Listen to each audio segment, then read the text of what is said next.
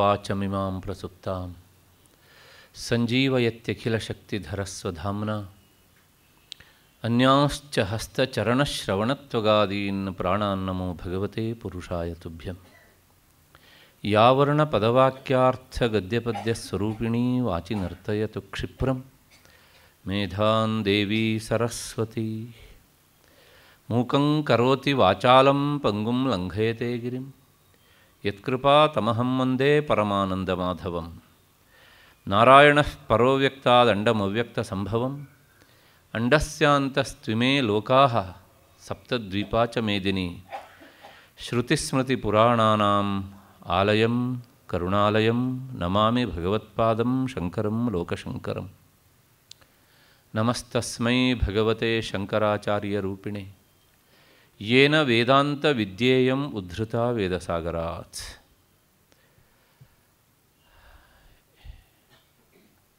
ನನ್ನ ಎಲ್ಲ ಭಗವದ್ಗೀತಾ ಬಂಧುಗಳೇ, ಮತ್ತು ಪ್ರಾಯೋಜಕರಾದಂತಹ ಶ್ರೀಮತಿ ಪ್ರಭಾಶಾಸ್ತ್ರಿ ಹಾಗೂ ಅವರ ಪರಿವಾರದವರೇ, ನಿಮ್ಮೆಲ್ಲರ ಹೃನ್ಮಂದಿರದನ್ನು ಬೆಳಗ್ತಾ ಇರುವಂತಹ ಆ ಮಹಾಚೈತನ್ಯಕ್ಕೆ ವಂದಿಸ್ತಾ ನೇರವಾಗಿ ನನ್ನ ಉಪನ್ಯಾಸಕ್ಕೆ ಪ್ರವೇಶ ಮಾಡ್ತಾ ಇದ್ದೇನೆ.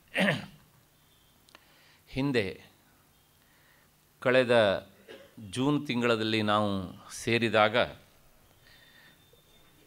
ಒಂಬತ್ತನೆಯ ಅಧ್ಯಾಯವನ್ನು ಮುಗಿಸಿ ಹತ್ತನೇ ಅಧ್ಯಾಯದ ಹದಿಮೂರನೆಯ ಶ್ಲೋಕದವರೆಗೆ ಚಿಂತನೆಯನ್ನು ಮಾಡಿದ್ವಿ. ಆ ಹನ್ನೆರಡು ಮತ್ತು ಹದಿಮೂರು.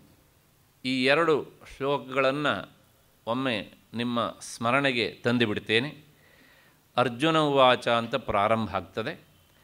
ಪರಂ ಬ್ರಹ್ಮ ಪರಂಧಾಮ ಪವಿತ್ರಂ ಪರಮಂ ಭವಾನ್. ಪುರುಷಂ ಶಾಶ್ವತಂ ದಿವ್ಯಂ ಆದಿದೇವಂ ಅಜಂ ವಿಭುಂ. ಆಹುಸ್ತ್ವಾ ಮೃಷಯಸ್ಸರ್ವೇ ದೇವರ್ಷಿರ್ನಾರದಸ್ತಥ ಅಸಿತೋ ದೇವಲೋ ವ್ಯಾಸ. ಸ್ವಯಂಚೈವ ಬ್ರವೀಷಿಮೆ. ಈ ಶ್ಲೋಕದಲ್ಲಿ ಅಂದರೆ ಈ ಎರಡು ಶ್ಲೋಕಗಳನ್ನು ಸೇರಿಸಿಕೊಂಡು ಅರ್ಥ ಹೇಳಬೇಕು, ಹಾಗೆ ಹೇಳಿದ್ದಾಗಿದೆ. ಕೇವಲ ಪುನಃಸ್ಮರಣೆ ಅಷ್ಟೇ ಅರ್ಜುನ ಕೃಷ್ಣನನ್ನು ಕುರಿತು ಒಂಬತ್ತು ವಿಶೇಷವಾದಂತಹ ಹೆಸರುಗಳನ್ನು ಬಳಸಿದ್ದಾನೆ ಇಲ್ಲಿ. ಆ ಹೆಸರುಗಳನ್ನೆಲ್ಲ ಇಲ್ಲಿ ವೇದವ್ಯಾಸ ನಮಗೆ ಪಟ್ಟಿ ಮಾಡಿ ಕೊಟ್ಟಿದ್ದಾರೆ.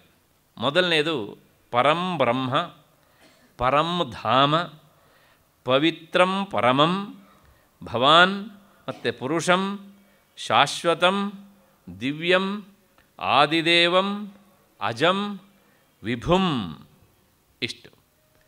ಹೀಗೆ ನಿನ್ನನ್ನು ಪರಬ್ರಹ್ಮ, ಪರಂಧಾಮ ಪವಿತ್ರ ಮತ್ತು ಪುರುಷ, ಶಾಶ್ವತ, ದಿವ್ಯ, ಆದಿದೇವ, ಅಜ ಮತ್ತು ವಿಭು. ಈ ಎಲ್ಲ ಹೆಸರುಗಳಿಂದ ನಮ್ಮ ಪ್ರಾಚೀನ ಋಷಿ ಮುನಿಗಳು ಕರೀತಾ ಇರ್ತಾರೆ. ವಸಿಷ್ಠಾದಿ ಋಷಿಗಳು. ಮತ್ತಷ್ಟೇ ಅಲ್ಲ ದೇವಋಷಿಗಳಾದಂತಹ ನಾರದರು ಮತ್ತು ಅಸಿತ ದೇವಲ ಎನ್ನುವಂತಹ ಮುನಿ, ಸ್ವತಃ ವ್ಯಾಸರು. ಇವರೆಲ್ಲರೂ ನಿನ್ನನ್ನು ಈ ಹೆಸರುಗಳಿಂದ ಮತ್ತೆ ಮತ್ತೆ ಕರೀತಾ ಇರ್ತಾರೆ ಎನ್ನುವಂಥದ್ದು ಇದರ ಅರ್ಥ. ಪ್ರಾಯಶಃ ಈ ಎರಡು ಶ್ಲೋಕಗಳ ವಿವರಣೆಯೇ ಒಂದು ಉಪನ್ಯಾಸ ಆಗಿದೆ ಅಂತ ನನ್ನ ನೆನಪು.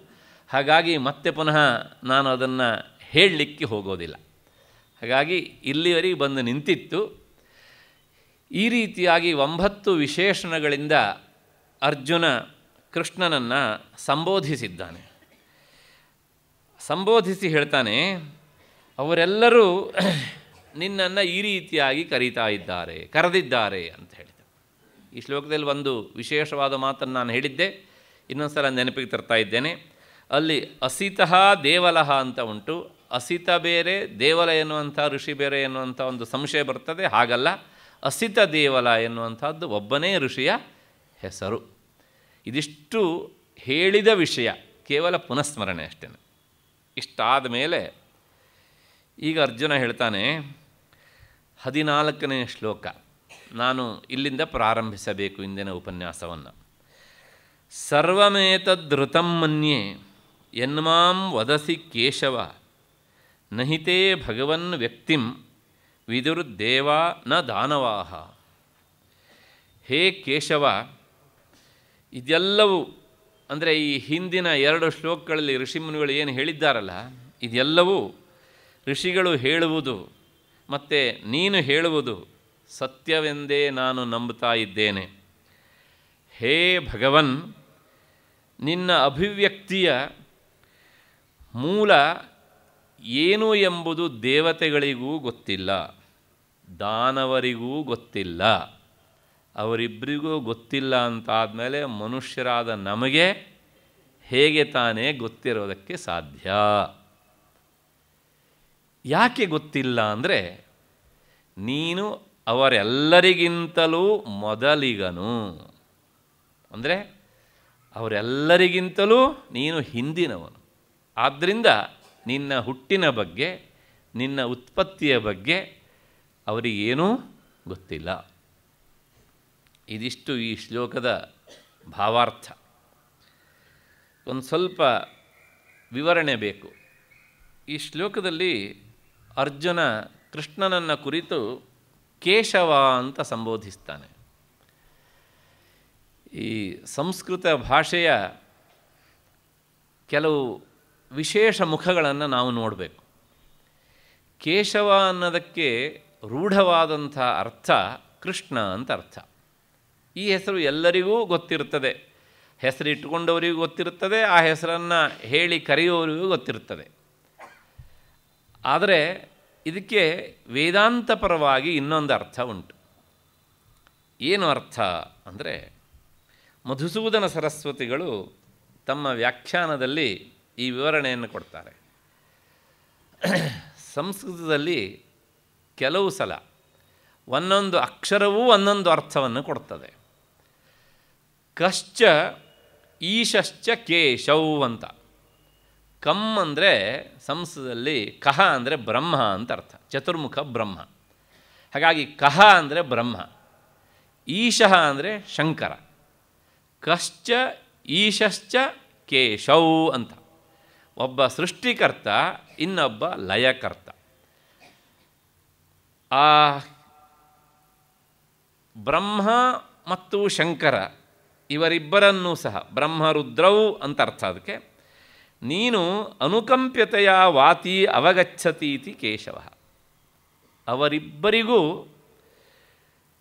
ನಿನ್ನ ಸ್ನೇಹಿತರಾದ್ದರಿಂದ ಸುಲಭವಾಗಿ ಅರ್ಥ ಆಗಬೇಕು ಅಂಥೇಳಿ ಅವರಿಗೆ ವಿಶೇಷವಾಗಿ ನೀನು ಗೋಚರಿಸ್ತೀಯೇ ಅವಗಚ್ಚತಿ ಅವರೇ, ಅವರು ನಿನ್ನನ್ನು ತಿಳಿತಾರೆ ಅಥವಾ ನೀನು ಅವರನ್ನು ಸರಿಯಾಗಿ ಅರ್ಥ ಮಾಡ್ಕೊಳ್ತೀಯೇ. ಹಾಗಾಗಿ ಈ ಅರ್ಥದ ಹಿನ್ನೆಲೆಯಲ್ಲಿ ಬ್ರಹ್ಮನಿಗೂ ಮತ್ತು ಶಂಕರನಿಗೂ ಅತ್ಯಂತ ಪ್ರೀತಿಪಾತ್ರನಾದವನು, ಅವರನ್ನು ಅನುಗ್ರಹಿಸುವವನು ಯಾರು ಅಂದರೆ ನೀನು, ಕೇಶವ ಅಂತ. ಅವರನ್ನೇ ಅನುಗ್ರಹಿಸುವ ನೀನು ಮತ್ತು ನನ್ನನ್ನು ಅನುಗ್ರಹಿಸುವುದಿಲ್ವಾ ಅಂತ ಅರ್ಜುನನ ಮಾತಿನ ಧ್ವನಿ. ನೋಡಿ, ಅಪ್ಪಟ ವೇದಾಂತ ಗ್ರಂಥ ಭಗವದ್ಗೀತೆ ಇಲ್ಲಿ ಈ ಅಲಂಕಾರ ಶಾಸ್ತ್ರದ ಧ್ವನಿಯನ್ನು ನಾವು ಹೇಗೆ ಕಾಣೋದಕ್ಕೆ ಸಾಧ್ಯ ಅಂತ. ಅವರನ್ನೇ ಅನುಗ್ರಹಿಸಿದವನು, ನಿನ್ನ ವಿಶೇಷ ಭಕ್ತನಾದ ನನ್ನನ್ನು ನೀನು ಅನುಗ್ರಹಿಸದೇ ಇರ್ತೀಯಾ? ಹಾಗಾಗಿ ಅನುಗ್ರಹಿಸಲೇಬೇಕು. ಈ ಅರ್ಥದ ಹಿನ್ನೆಲೆಯಲ್ಲಿ ಅರ್ಜುನ ಕೃಷ್ಣನನ್ನು ಈ ಹೆಸರಿನಿಂದ ಸಂಬೋಧಿಸಿದ್ದಾನೆ. ಇದು ಆ ಶಬ್ದದ ವಿವರಣೆ.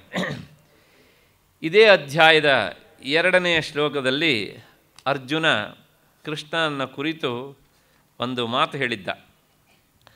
ನಮೇ ವಿಧು ಸುರಗಣ ಸಾರಿ ಕೃಷ್ಣ ಅರ್ಜುನನ ಕುರಿತು ಒಂದು ಮಾತು ಹೇಳಿದ್ದ.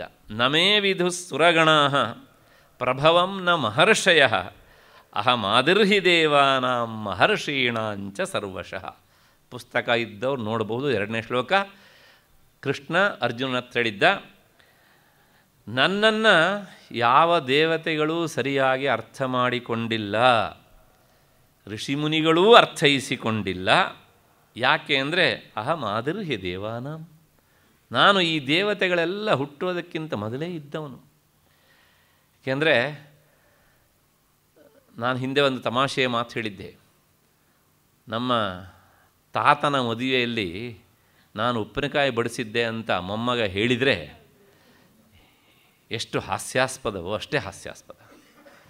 ಹಾಗಾಗಿ ಅವನಿದ್ದರೆ ಇವರೆಲ್ಲರೂ, ಅವನಿಂದಾಗಿ ಇವರೆಲ್ಲರೂ, ಹಾಗಾಗಿ ಅವನ ಜನ್ಮವನ್ನು, ಅವನ ಹುಟ್ಟನ್ನು, ಅವನ ಪ್ರಭಾವವನ್ನು, ಅವನ ಅಭಿವ್ಯಕ್ತಿಯನ್ನು ಈ ದೇವತೆಗಳು ಹೇಗೆ ತಾನೇ ಬಲ್ಲರು. ಹಾಗಾಗಿ ಮಹರ್ಷೀಣಾಂಚ ಸರ್ವಶಃ, ಇವರು ಯಾರೂ ಸಹ ನನ್ನನ್ನು ಸರಿಯಾಗಿ ಅರ್ಥ ಮಾಡಿ ಕೊಳ್ಳಲಾರರು. ಅಂತ ಕೃಷ್ಣ ಹೇಳಿದ್ನಲ್ಲ ಇದು ಸತ್ಯವಾದ ಮಾತು ಅಂತಾನೆ ಅರ್ಜುನ ಇಲ್ಲಿ. ಆದ್ದರಿಂದ ನಾನು ನಿನ್ನನ್ನು ಸುಲಭವಾಗಿ ಅರ್ಥ ಮಾಡಿಕೊಳ್ಳಲಾರೆ ಎನ್ನುವುದು ಮತ್ತೊಂದು ಅರ್ಜುನ ಮಾತಿನ ಅರ್ಥ. ಯಾಕೆ ಅಂದರೆ ಯಾರು ನಿನ್ನನ್ನು ಅರ್ಥ ಮಾಡಿಕೊಳ್ಳಬಲ್ಲರು ಅಂದರೆ ಯಾರು ನಿನ್ನ ಸಮಕಾಲೀನರೋ ಅಥವಾ ಯಾರು ನಿನಗಿಂತ ಮೊದಲು ಹುಟ್ಟಿದವರೋ ಅವರು ನಿನ್ನನ್ನು ಅರ್ಥ ಮಾಡಿಕೊಳ್ಳಬಲ್ಲರು. ಮತ್ತು ಈಗ ನೀನು ನನ್ನ ಸಮಕಾಲೀನಾಗಿದ್ದೀಯಲ್ಲ ಅಂತ ಕೃಷ್ಣ ಹೇಳಿದರೆ, ಹಿಂದೆ ನಾಲ್ಕನೇ ಅಧ್ಯಾಯದಲ್ಲಿ ಇದಕ್ಕೆ ಉತ್ತರ ಹೇಳಿದ್ದೇನೆ. ಇಲ್ಲಿ ಅರ್ಜುನ ನೋಡ್ತಾ ಇರುವಂತಹ ಕೃಷ್ಣನ ರೂಪ, ಇದು ಸಗುಣ ರೂಪ. ವಸುದೇವ ದೇವಕಿಯರ ಮಗನಾಗಿ ಬಂದಂಥ ರೂಪ. ಆದರೆ ಕೃಷ್ಣ ಹೇಳ್ತಾ ಇರೋದು, ತನ್ನ ನಿಜವಾದ, ಆ ಶುದ್ಧ ಚೈತನ್ಯದ ಸ್ವರೂಪ. ಪರಬ್ರಹ್ಮ ಸ್ವರೂಪದ ನೆಲೆಯಲ್ಲಿ ಕೃಷ್ಣ ಹೇಳ್ತಿದ್ದಾನೆ. ಹಾಗಾಗಿ ಅರ್ಜುನ ಅದನ್ನು ಹೇಳ್ತಿದ್ದಾನೆ. ನೀನು ಹೇಳಿದ ಹಾಗೆ ಈ ಮಾತು ಸತ್ಯ. ಹೀಗೆ ನಿನ್ನ ಈ ಐಶ್ವರ್ಯ, ನಿನ್ನ ವಿಭೂತಿ ಉಂಟಲ್ಲ, ಇದು ನಿರತಿಶಯ. ನಿರತಿಶಯ ಅಂದರೆ ಯಾವುದೇ ಶಬ್ದಗಳಿಂದಲೂ ಇದನ್ನು ಬಣ್ಣಿಸಲಾಗದು. ಇದಿಷ್ಟು ಈ ಶ್ಲೋಕದ ವಿವರಣೆಯ ಭಾಗ. ಇಷ್ಟಾದ ಮೇಲೆ ಈಗ ಇನ್ನೊಂದು ಸಂಶಯ ಬರ್ತದೆ. ಏನು ಸಂಶಯ?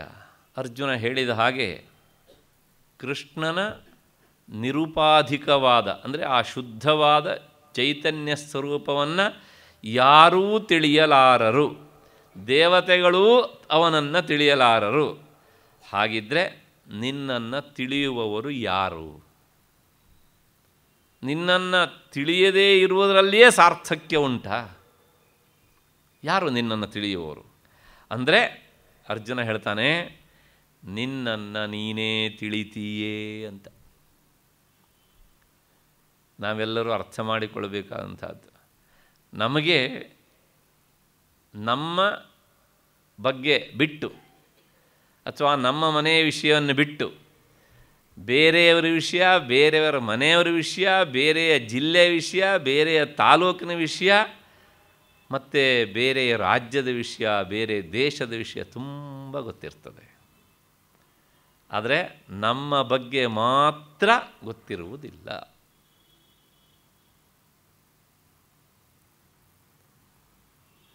ಇದು ಮೂಲತಃ ನಮ್ಮನ್ನು ಕಾಡುವ ಪ್ರಶ್ನೆ ಆಗಬೇಕು. ಆಚಾರ್ಯ ಶಂಕರರು ತಮ್ಮ ಗುರುಗಳನ್ನು ಹುಡುಕೊಂಡು ಹೊರಟರು, ತಾಯಿಯಿಂದ ಅನುಮತಿಯನ್ನು ಪಡೆದು. ನರ್ಮದಾ ನದಿಯ ತೀರದಲ್ಲಿರುವಂಥ ಗೋವಿಂದ ಭಗವತ್ಪಾದರ ಹತ್ರ ಹೋದರು. ಹೋದಾಗ ಅವರು ಕೇಳಿದರು, ಯಾರಪ್ಪ ನೀನು ಅಂತ? ಆಗ ಅವರು ಮೊದಲ ಕೊಟ್ಟ ಪ್ರಶ್ನೆನೇ ಅದು, ನೀವು ಯಾರು ಅಂತ ನನ್ನನ್ನು ಕೇಳಿದ್ರಲ್ಲ, ಅದನ್ನು ತಿಳ್ಕೊಳ್ಳೋದಕ್ಕೆ ಅಂತಲೇ ನಿಮ್ಮ ಹತ್ರ ನಾನು ಬಂದಿದ್ದೇನೆ ಅಂತ. ಇವತ್ತಿನ ಕಾಲದ ನಾವಾದರೆ ತಕ್ಷಣ ಒಂದು ವಿಸಿಟಿಂಗ್ ಕಾರ್ಡ್ ಕೊಡ್ತಿದ್ವಿ. ಬರೇ ಸುಳ್ಳು ಸುಳ್ಳು ಸುಳ್ಳು ಸುಳ್ಳು ಅಡ್ರೆಸ್ಸು.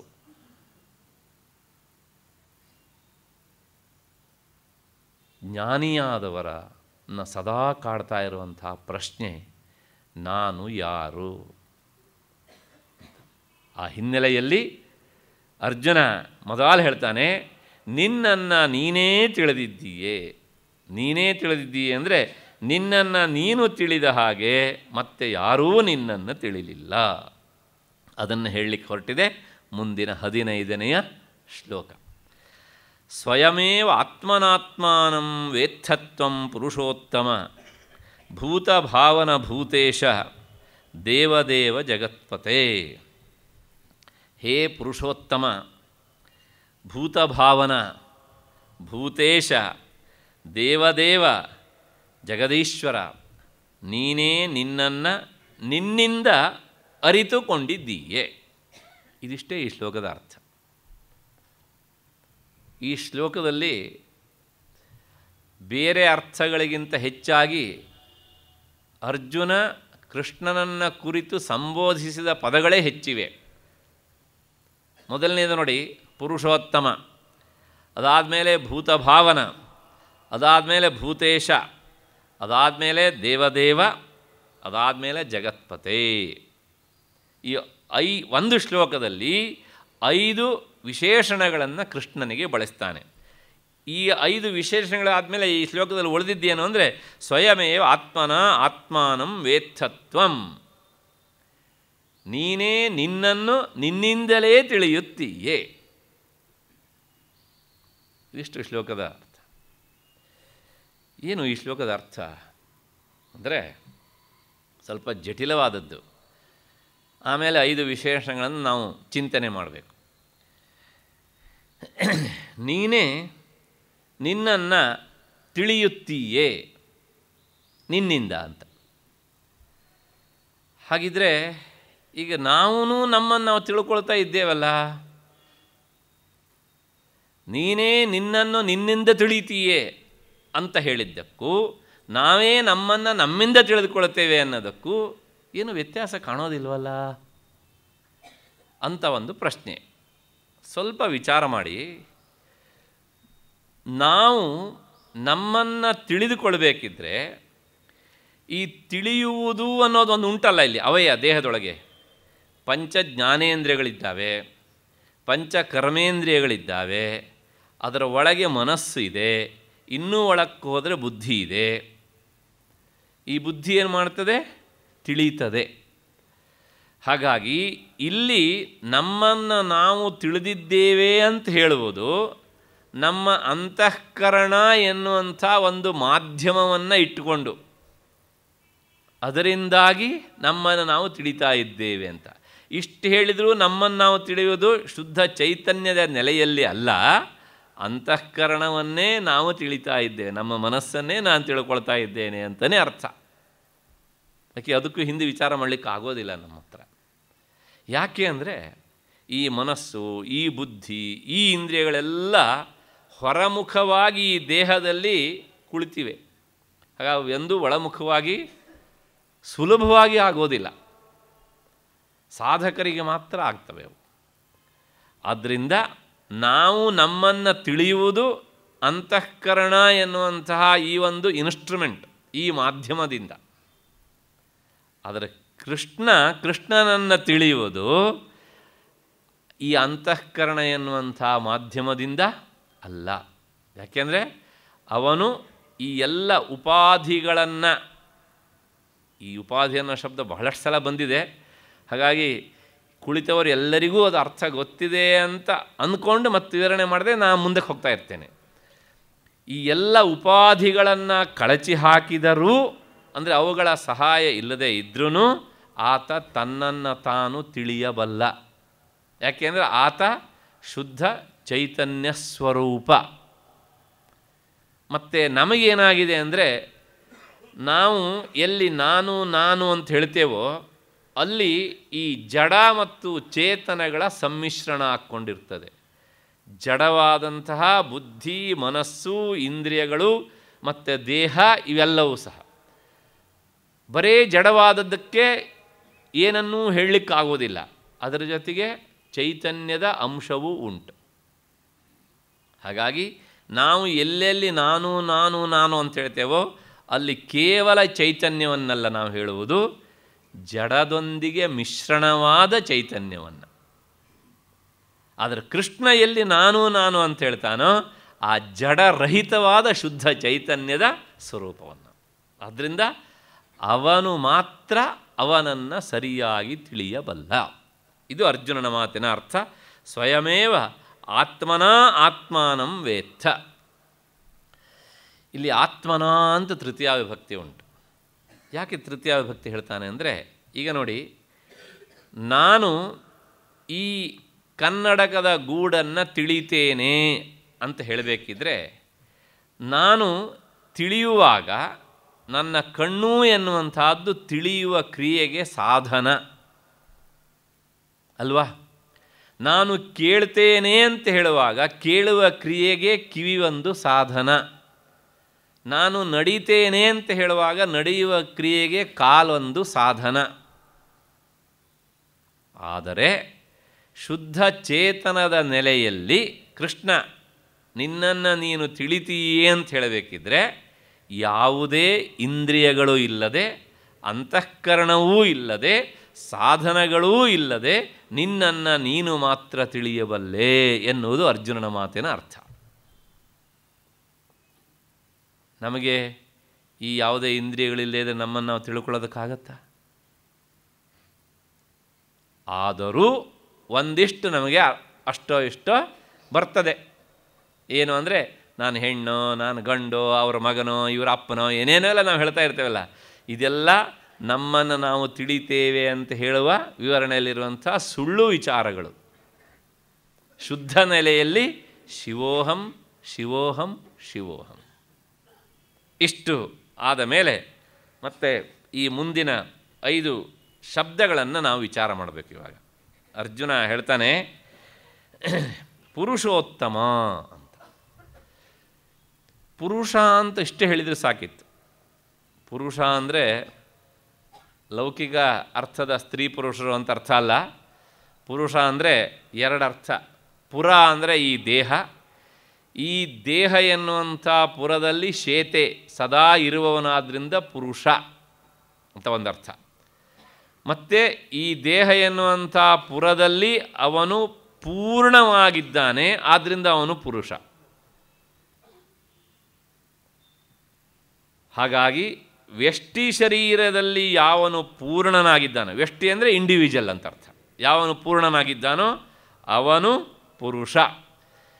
ಯಾವನು ಎಲ್ಲರ ಶರೀರದಲ್ಲೂ, ಶರೀರದ ಆಚೆಗೂ, ಶರೀರದ ಒಳಗೂ ಇದ್ದಾನೋ ಅವನು ಪುರುಷೋತ್ತಮ. ಹಾಗಾಗಿ ಅರ್ಜುನ ಸಂಬೋಧಿಸ್ತಾ ಇರುವಂಥ ಮೊದಲನೇ ಪದ, ಪುರುಷೋತ್ತಮ. ಅಂದರೆ ಹೀಗೆ ಹೇಳುವ ಸಂಬೋಧನೆಯ ಮೂಲಕ ಅರ್ಜುನ ಏನು ಹೇಳ್ತಾನೆ ಅಂದರೆ, ನೀನು ಬ್ರಹ್ಮಾಂಡದ ಒಳಗೂ ಮತ್ತು ಬ್ರಹ್ಮಾಂಡದ ಆಚೆಯೂ, ಬ್ರಹ್ಮಾಂಡದ ಒಳಗೆ ಇರುವ ಪಿಂಡಾಂಡದ ಒಳಗೂ ಪಿಂಡಾಂಡಗಳ ಆಚೆಯೂ ಇದ್ದೀಯೆ. ಪಿಂಡಾಂಡ ನಮ್ಮ ಈ ದೇಹ. ಬ್ರಹ್ಮಾಂಡ ಅಂದರೆ ಈ ದೊಡ್ಡ ಶರೀರ, ಪ್ರಪಂಚ ಎನ್ನುವಂಥ ಶರೀರ. ಅಂದರೆ ಎಲ್ಲ ಕಡೆಗೂ ಇರುವವನು ನೀನೊಬ್ಬನೇ ಎನ್ನುವಂತಹ ಅರ್ಥವನ್ನು ಪುರುಷೋತ್ತಮ ಎನ್ನುವಂತಹ ಮಾತಿನ ಮೂಲಕ ಹೇಳಿದ ಹೀಗೆ ಎಲ್ಲ ಕಡೆಗೂ ಇರುವಂಥ ನಿನ್ನನ್ನು ನೀನಲ್ಲದೆ ಮತ್ತಾರು ತಿಳಿಯೋದಕ್ಕೆ ಸಾಧ್ಯ. ಅಷ್ಟು ಹಿನ್ನೆಲೆಯಲ್ಲಿ ಮತ್ತೆ ಅರ್ಜುನ ಮುಂದುವರೆದು ಹೇಳ್ತಾನೆ, ಹಾಗಿದ್ರೆ ನಿನ್ನನ್ನು ನೀನಾದರೂ ಹೇಗೆ ತಿಳಿಯಬಲ್ಲೆ? ಅದಕ್ಕೆ ಉತ್ತರ, ಸ್ವಯಮೇವ ಆತ್ಮನ ಆತ್ಮಾನಂ, ನೀನೇ ನಿನ್ನನ್ನು ತಿಳಿಯಬಲ್ಲೆ. ಯಾವುದೇ ಸಾಧನ, ಇನ್ಸ್ಟ್ರೂಮೆಂಟ್ಗಳು ಇಲ್ಲದೆ ಅಂತ ಅರ್ಥ. ಅಂದರೆ ನಾವೆಲ್ಲರೂ ಇವತ್ತು ನಾನು ನಾನು ಅಂತ ಹೇಳ್ತಾ ಇರುವಂತಹದ್ದು ಈ ದೇಹದ ಒಳಗಿರುವಂತಹ ಚೈತನ್ಯವನ್ನು. ಅಂದರೆ ದೇಹ ಎನ್ನುವಂಥ ಉಪಾಧಿಯಿಂದ ಬೇರ್ಪಟ್ಟಂತೆ ತೋರ್ತಾ ಇರುವಂಥ ಮಹಾಚೈತನ್ಯವನ್ನು. ಕೃಷ್ಣ ನಿರುಪಾಧಿಕ, ಉಪಾಧಿರಹಿತನಾಗಿಯೂ ತನ್ನನ್ನು ತಾನು ತಿಳಿಯಬಲ್ಲ ಎನ್ನುವಂಥದ್ದು. ಇಷ್ಟಾದ ಮೇಲೆ ಮತ್ತು ಈ ಶ್ಲೋಕದಲ್ಲಿ ಬಂದಂತಹ ಇನ್ನುಳಿದ ನಾಲ್ಕು ಶಬ್ದಗಳನ್ನು ನಾವು ಚಿಂತನೆ ಮಾಡಬೇಕು. ಮೊದಲನೇ, ಎರಡನೇದು, ಮೊದಲನೇದು ಪುರುಷೋತ್ತಮ ಆಯಿತು. ಎರಡನೇದು ಭೂತಭಾವನ ಅಂತ. ಏನು ಹೀಗೆಂದರೆ ಭೂತಭಾವನ ಅಂದರೆ? ಭೂತ ಅಂದರೆ ಜೀವಿಗಳು, ಪ್ರಾಣಿಗಳು ಅಂತ ಅರ್ಥ. ಭೂ ಅಂದರೆ ಭೂಮಿ, ತ ಅಂದರೆ ತತ, ಎಲ್ಲ ಕಡೆಗೂ ಸಹ ತುಂಬಿಕೊಂಡವರು ಯಾರು? ನಾವು, ನೀವು. ಎರಡು ಕಾಲಿನವರು, ನಾಲ್ಕು ಕಾಲಿನವರು, ಕಾಲಿದ್ದವರು, ಕಾಲಿಲ್ಲದೆ ಇರೋರು, ಕಾಲಿಲ್ಲದೆ ಇದ್ದರೂ ಹೋಗುವವರು. ಎಲ್ಲ ಜೀವಜಾತಗಳನ್ನು ಭೂತ ಅಂತ ಕರೀತಾರೆ. ಹೀಗೆ ಈ ಪ್ರತಿಯೊಂದು ಜೀವಜಾತಗಳನ್ನು ಸಹ ಯಾವನು ಸೃಷ್ಟಿ ಮಾಡ್ತಾನೋ ಅವನು ಭೂತ ಭಾವನ ಅಂತ ಅವನಿಗೆ ಹೆಸರು. ಅಂದರೆ ಏನು ಹೇಳ್ದಂಗಾಯಿತು? ಎಲ್ಲ ಭೂತಗಳ ಪಿತ, ಎಲ್ಲರ ಜನಕ. ಸರ್ವಜನಕ ಅಂತ ಅರ್ಥ. ಸರ್ವಜನಕ ಅಂದರೂ ಒಂದೇ ಭೂತ ಭಾವನ ಅಂದ್ರೂ ಒಂದೇ. ಇದು ಒಂದೇ ವಿಶೇಷಣ ಸಾಕಿತ್ತಲ್ಲ ಸ್ವಾಮಿ, ಮತ್ತು ಮುಂದಿನ ಮೂರು ವಿಶೇಷಣಗಳು ಇನ್ಯಾಕೆ ಬೇಕು ಮತ್ತೆ? ಅಂದರೆ ಅದಕ್ಕೊಂದು ಕಾರಣ ಉಂಟು. ಜಗತ್ತಿನಲ್ಲಿ ಹುಟ್ಟಿಸುವವರು ಬಹಳಷ್ಟು ಜನ ಇರ್ತಾರೆ. ಎಲ್ಲ ಅಪ್ಪಂದಿರು ಅವರವರ ಮಕ್ಕಳನ್ನು ಹುಟ್ಟಿಸುವವರೇ. ಅಲ್ವಾ? ಅಪ್ಪ ಅಂತ ಹೇಳಿದ್ದಿಂದಲೇ ಮಗನಿಗೆ ತಂದೆ ಆದವನು ಅಂತ ಗೊತ್ತಾಗ್ತದೆ. ಆದರೆ ಏನಾಗಿದೆ ಅಂದರೆ ಮಕ್ಕಳಿಗೆ ತಂದೆ ಹೌದು, ಜನಕ ಹೌದು, ಭೂತಭಾವನ ಹೌದು, ಆದರೆ ಆ ಮಕ್ಕಳನ್ನು ಎಲ್ಲ ಅಪ್ಪಂದಿರು ನಿಯಂತ್ರ ಮಾಡಲಿಕ್ಕೆ ಆಗುವುದಿಲ್ಲ. ಮಕ್ಕಳು ಬೆಳೀತಾ ಬೆಳೀತಾ ಬಂದ ಹಾಗೆ ಅಪ್ಪನ ಮಾತನ್ನು ಮಕ್ಕಳು ಕೇಳುವುದಕ್ಕಿಂತ ಮಕ್ಕಳ ಮಾತನ್ನೇ ಅಪ್ಪಂದಿರು ಕೇಳಬೇಕಾಗತ್ತೆ. ಯದ್ಯಪಿ ಇವರೆಲ್ಲರೂ ಭೂತಭಾವನರು, ಸರ್ವಜನಕರು, ಅಲ್ವಾ? ತಮ್ಮಿಂದಲೇ ಸೃಷ್ಟರಾದ ಮಕ್ಕಳ ಮಾತನ್ನು ತಾವು ಕೇಳ್ತಾರೆ ಅಂತಾದರೆ, ಇವರು ಯಾರೂ ಸಹ ಭೂತೇಶರಲ್ಲ. ಮುಂದಿನ ಶಬ್ದ ಅದೇನೆ. ಭೂತಭಾವನ, ನೋಡಿ ಏನುಂಟು ಅಲ್ಲಿ? ಭೂತೇಶ. ಅಂದರೆ ತಮ್ಮಿಂದಲೇ ಸೃಷ್ಟರಾದಂತಹ ಈ ತಮ್ಮ ಸಂತತಿಗೆ ಇವರು ಏನಲ್ಲ? ಸಂಪೂರ್ಣ ಒಡೆಯರಲ್ಲ. ಆದರೆ ನೀನಲ್ಲ, ನೀನು ಹೇಗಿದ್ದೀಯ ಅಂದರೆ, ಈ ಪ್ರಪಂಚವನ್ನು ಸೃಷ್ಟಿ ಮಾಡಿದ್ದೀಯೇ, ಎಲ್ಲರನ್ನೂ ಸೃಷ್ಟಿ ಮಾಡಿದ್ದೀಯೇ. ಹಾಗೆ ಸೃಷ್ಟಿ ಮಾಡಿದ ಇವರು ಎಲ್ಲರಿಗೂ ಸಹ ನೀನೇನಾಗಿದ್ದೀಯೇ? ನಿಯಾಮಕನೂ ಆಗಿದ್ದೀಯೇ. ನೀನು ಅವರನ್ನು ಕಂಟ್ರೋಲ್ ಮಾಡ್ತೀಯ. ಅದರ ಲೋಕದ ಅಪ್ಪಂದಿರು ಮಕ್ಕಳನ್ನು ನಿಗ್ರಹಿಸಲಾರರು, ನಿಯಂತ್ರಿಸಲಾರರು. ಅದನ್ನು ಬೇರ್ಪಡಿಸಿ ಹೇಳೋದಕ್ಕೋಸ್ಕರ ಅರ್ಜುನ ಹೇಳ್ತಾನೆ, ಭೂತೇಶ. ಇನ್ನೊಂದು ವಿಶೇಷಣ ಉಂಟು ಅಲ್ಲಿ. ಯಾಕೆ ಅಂದರೆ ನೀನು ಅವರ ಹಾಗೆ ಆಗಿಬಿಟ್ಟಿಯೇನೋ ಅಂತ ನಮ್ಮಂತರಿಗೆ ಸಂಶಯ ಬಂದರೆ ಹಾಗೆ ಸಂಶಯ ಬರದೇ ಇರಲಿ ಅಂಥೇಳಿ ಅರ್ಜುನ ಹೇಳ್ತಾನೆ, ಭೂತೇಶ ಅಂತ. ಅಂದರೆ ಭೂತಗಳ ಸರ್ವ ಪ್ರಾಣಿಗಳ ನಿಯಾಮಕನೇ ಅಂತ ಅರ್ಥ. ಲೋಕದಲ್ಲಿ ಕೆಲವು ರಾಜರುಗಳು ಹಿಂದಿದ್ದರು ತಮ್ಮ ತಮ್ಮ ಪ್ರಜೆಗಳನ್ನು ಅವರು ನಿಯಮನ ಮಾಡ್ತಿದ್ರು. ಅಂದರೆ ನಿಯಂತ್ರಣದಲ್ಲಿ ಇಟ್ಕೊಂಡಿದ್ದರು ಅವರೇನೋ ಪ್ರಜೆಗಳ ಮೇಲೆ ಬಲವಂತವಾಗಿ ತಮ್ಮ ಅಧಿಕಾರವನ್ನು ಚಲಾಯಿಸಿ ಅವರನ್ನು ನಿಯಂತ್ರಣದಲ್ಲಿ ಇಟ್ಕೊಂಡಿದ್ದರು ಅಂದರೆ ಅವರ ಅವರ ದೇಹದ ಮೇಲೆ ನಿಯಂತ್ರಣ ಇತ್ತು. ಆದರೆ ಯಾವ ಪ್ರಜೆಗಳು ಮನಸಾರೆ ಅವರನ್ನು ಒಪ್ಪಿಕೊಳ್ಳದೇ ಇರುವಂಥ ರಾಜರು ಬೇಕಷ್ಟಿದ್ದರು ನಮ್ಮಲ್ಲಿ. ಉದಾಹರಣೆಗೆ ರಾವಣ ಇದ್ದ. ರಾವಣ ಬದುಕಿರುವಾಗ ಎಲ್ಲ ರಾಕ್ಷಸರನ್ನು ಅವನು ಬಗ್ಗು ರಾಕ್ಷಸೇಷ ಆಗಿದ್ದ. ಆದರೆ ಬಹಳಷ್ಟು ಜನ ರಾಕ್ಷಸರು ಅವನನ್ನು ಮನಸಾರೆ ಒಪ್ಪಿಕೊಳ್ಳೇ ಇಲ್ಲ. ಹೆಚ್ಚೇಕೆ ಪ್ರತಿದಿನವೂ ಯುದ್ಧ ಆಗ್ತಾ ಆಗ್ತಾ ಇದ್ದ ಹಾಗೆ ಎಲ್ಲರೂ ಅವನಿಗೆ ಹಿಡಿ ಶಾಪ ಹಾಕ್ತಿದ್ರು. ಇವನಿಂದಾಗಿ ನಮ್ಮ ಲಂಕೆ ಸರ್ವನಾಶ ಆಗೋಯಿತು, ನಮ್ಮವರೆಲ್ಲ ಸಾಯ್ತಾ ಇದ್ದಾರೆ, ಹೀಗೆ ಅಂತ. ಅಂದರೆ ಇವರ ದೇಹದ ಮೇಲೆ ಅವನಿಗೆ ನಿಯಂತ್ರಣ ಇದೆ. ಆದರೆ ಇವರ ಮನಸ್ಸಿನ ಮೇಲೆ ನಿಯಂತ್ರಣ ಇಲ್ಲ. ಒಬ್ಬ ರಾವಣ ಮತ್ತು ಇನ್ನೊಬ್ಬ ಕಂಸ, ಕೃಷ್ಣನ ಮಾವ. ಇವನ ಆಳ್ವಿಕೆಯನ್ನು ಎಷ್ಟು ಜನ ಒಪ್ಕೊಂಡಿದ್ರು? ಆದರೆ ಬಲವಂತವಾಗಿ ಹುಜೂರ್ ಅಂತ ಹೇಳ್ತಿದ್ರು. ಯಾಕೆ? ಅವನು ಕೊಡುವಂಥ ದಂಡನೆಯನ್ನು ಯಾರು ಅನುಭವಿಸ್ತಾರೆ ಅಂಥೇಳಿ ದೈಹಿಕವಾಗಿ ಒಪ್ಕೊಂಡಿದ್ರು. ಮಾನಸಿಕವಾಗಿ ಯಾರೂ ಸಹ ಒಪ್ಕೊಂಡಿಲ್ಲ. ಇನ್ನು ನಮ್ಮ ಪುರಾಣ ಕಾಲದ ರಾಜರು ಹಣೆ ಬರ ಹೀಗಾದರೆ ಇನ್ನು ಆಧುನಿಕ ಕಾಲಕ್ಕೆ ಬಂದರೆ ನಿಮಗೆ ಗೊತ್ತು, ಮುಸೋಲನಿ ಅಂತ ಒಬ್ಬ ಇದ್ದ ಡಿಕ್ಟೇಟರ್ ಅಲ್ವಾ? ಅವನನ್ನು, ಅವನ ಡಿಕ್ಟೇಟರ್ ಅಂತ ಹೇಳಿದ್ರೆ ಗೊತ್ತಾಗ್ತಲ್ಲ ಯಾರೂ ಅವನು ಒಪ್ಕೊಂಡಿರಲಿಲ್ಲ ಅಂತ. ಅಂದರೆ ದೈಹಿಕವಾಗಿ ಅವನು ಹೇಳಿದ್ದಕ್ಕೆ ಹೂ ಅಳ್ತಿದ್ರು, ಮಾನಸಿಕವಾಗಿ ಅವನನ್ನು ಶಪಿಸ್ತಿದ್ರು. ಮತ್ತು ಹಿಟ್ಲರ್ ಅಂತ ಇನ್ನೊಬ್ಬಿದ್ದ. ಅವತ್ತು ನಮ್ಮ ಜಗತ್ತಿಗೆ ಒಬ್ಬನೇ ಹಿಟ್ಲರ. ಇವತ್ತು ಎಲ್ಲ ಕಡೆಗೂ ಈ ಹಿಟ್ಲರ್ ಅಂದಿರು ಮರಿ ಹಿಟ್ಲರ್ ಅಂದಿರು ಬಹಳಷ್ಟು ಜನ ಇದ್ದಾರೆ. ನಾವು ಎಷ್ಟೋ ಸಲ ನಮ್ಮ ರಾಜಕಾರಣಿಗಳನ್ನು ಬಲವಂತ ಒಪ್ಕೊಂಡಿರ್ತೇವೆ. ಆದರೆ ಮಾನಸಿಕವಾಗಿ ಒಪ್ಕೊಳ್ಳೋಕೆ ಸಾಧ್ಯನಾ ನಮಗೆ? ಇಲ್ಲ. ಮತ್ತು ಅಲೆಕ್ಸಾಂಡರ್ ಚಕ್ರವರ್ತಿ ಇದ್ದ, ನಮ್ಮ ದೇಶಕ್ಕೂ ಬಂದಿದ್ದ. ಅವನನ್ನು ಬಲವಂತವಾಗಿ ಎಷ್ಟೋ ಜನ ಒಪ್ಕೊಳ್ಳೇಬೇಕಾಯಿತು. ಯಾಕೆಂದರೆ ಅವನ ಈ ದೈಹಿಕವಾದಂಥ ಸಾಮರ್ಥ್ಯ ಹಿನ್ನೆಲೆಯಲ್ಲಿ ಆದರೆ ಅವನೊಬ್ಬ ಉತ್ತಮ ವ್ಯಕ್ತಿ ಅಂತ ಮನಸಾರಿ ಯಾರೂ ಒಪ್ಕೊಳ್ಳಿಲ್ಲ. ಹೀಗೆ ಎಷ್ಟೋ ಜನರು ಇವರೆಲ್ಲರೂ ಸಹ ಭೂತೇಶರು, ಅಂದರೆ ಈ ಪ್ರಾಣಿಗಳನ್ನು, ತಮ್ಮ ಪ್ರಜೆಗಳನ್ನು ನಿಯಂತ್ರಣ ಮಾಡುವವರು. ಆದರೆ ಏನಾಗಿತ್ತು ಕೇಳಿದರೆ, ಇವರು ದೇವದೇವರಲ್ಲ. ಅಂದರೆ ಅವರ ಮನಸಾರೆ ಅವರ ಪ್ರೀತಿಗೆ ಪಾತ್ರರಾಗಲಿಲ್ಲ. ಅದನ್ನು ಹೇಳೋದಕ್ಕೋಸ್ಕರ ಅರ್ಜುನ ಹೇಳ್ತಾನೆ, ನೀನು ಭೂತೇಶನೂ ಹೌದು, ದೇವದೇವನೂ ಹೌದು. ಆದರೆ ನಮ್ಮನ್ನು ಆಳಿದಂಥ ಈ ರಾಜರ ಪಟ್ಟಿಗಳನ್ನೆಲ್ಲ ನಾನು ಕೊಟ್ಟನಲ್ಲ ಇವರೆಲ್ಲ ಕ್ವಚಿತ್ ಭೂತೇಶರು ಹೌದು, ಆದರೆ ದೇವದೇವರು ಅಲ್ಲ. ಹಾಗಿದ್ರೆ ಈ ದೇವದೇವ ಅನ್ನೋದಕ್ಕೆ ಅರ್ಥ ಏನು? ಈ ಮಾತು ಸಾಮಾನ್ಯವಾಗಿ ಎಲ್ಲ ಕಡೆಗೂ ಬರ್ತದೆ. ವಿಶೇಷವಾಗಿ ನೀವು ಸಹಸ್ರನಾಮವನ್ನು ತೆಗೆದು ನೋಡಿದರೆ ದೇವದೇವಾಯ ನಮಃ, ಈ ಎಲ್ಲ ನಾಮಗಳು ಪತ್, ಪದೇ ಪದೇ ಬರ್ತಾ ಇರ್ತವೆ. ಏನು ಹಾಗಿದ್ರೆ ದೇವದೇವ ಅಂದರೆ? ಇದಕ್ಕೆ ಮೂರು ತರಹದ ಅರ್ಥಗಳಿವೆ. ಎಲ್ಲ ದೇವತೆಗಳಿಗೂ ಒಡೆಯನಾದ್ರಿಂದ ದೇವದೇವ ಅಂತ. ಇದೊಂದು ಸಾಮಾನ್ಯವಾದ ಅರ್ಥ. ಇದು ಮೊದಲನೇ ಅರ್ಥ. ಮತ್ತೆ ಎರಡನೇ ಅರ್ಥ.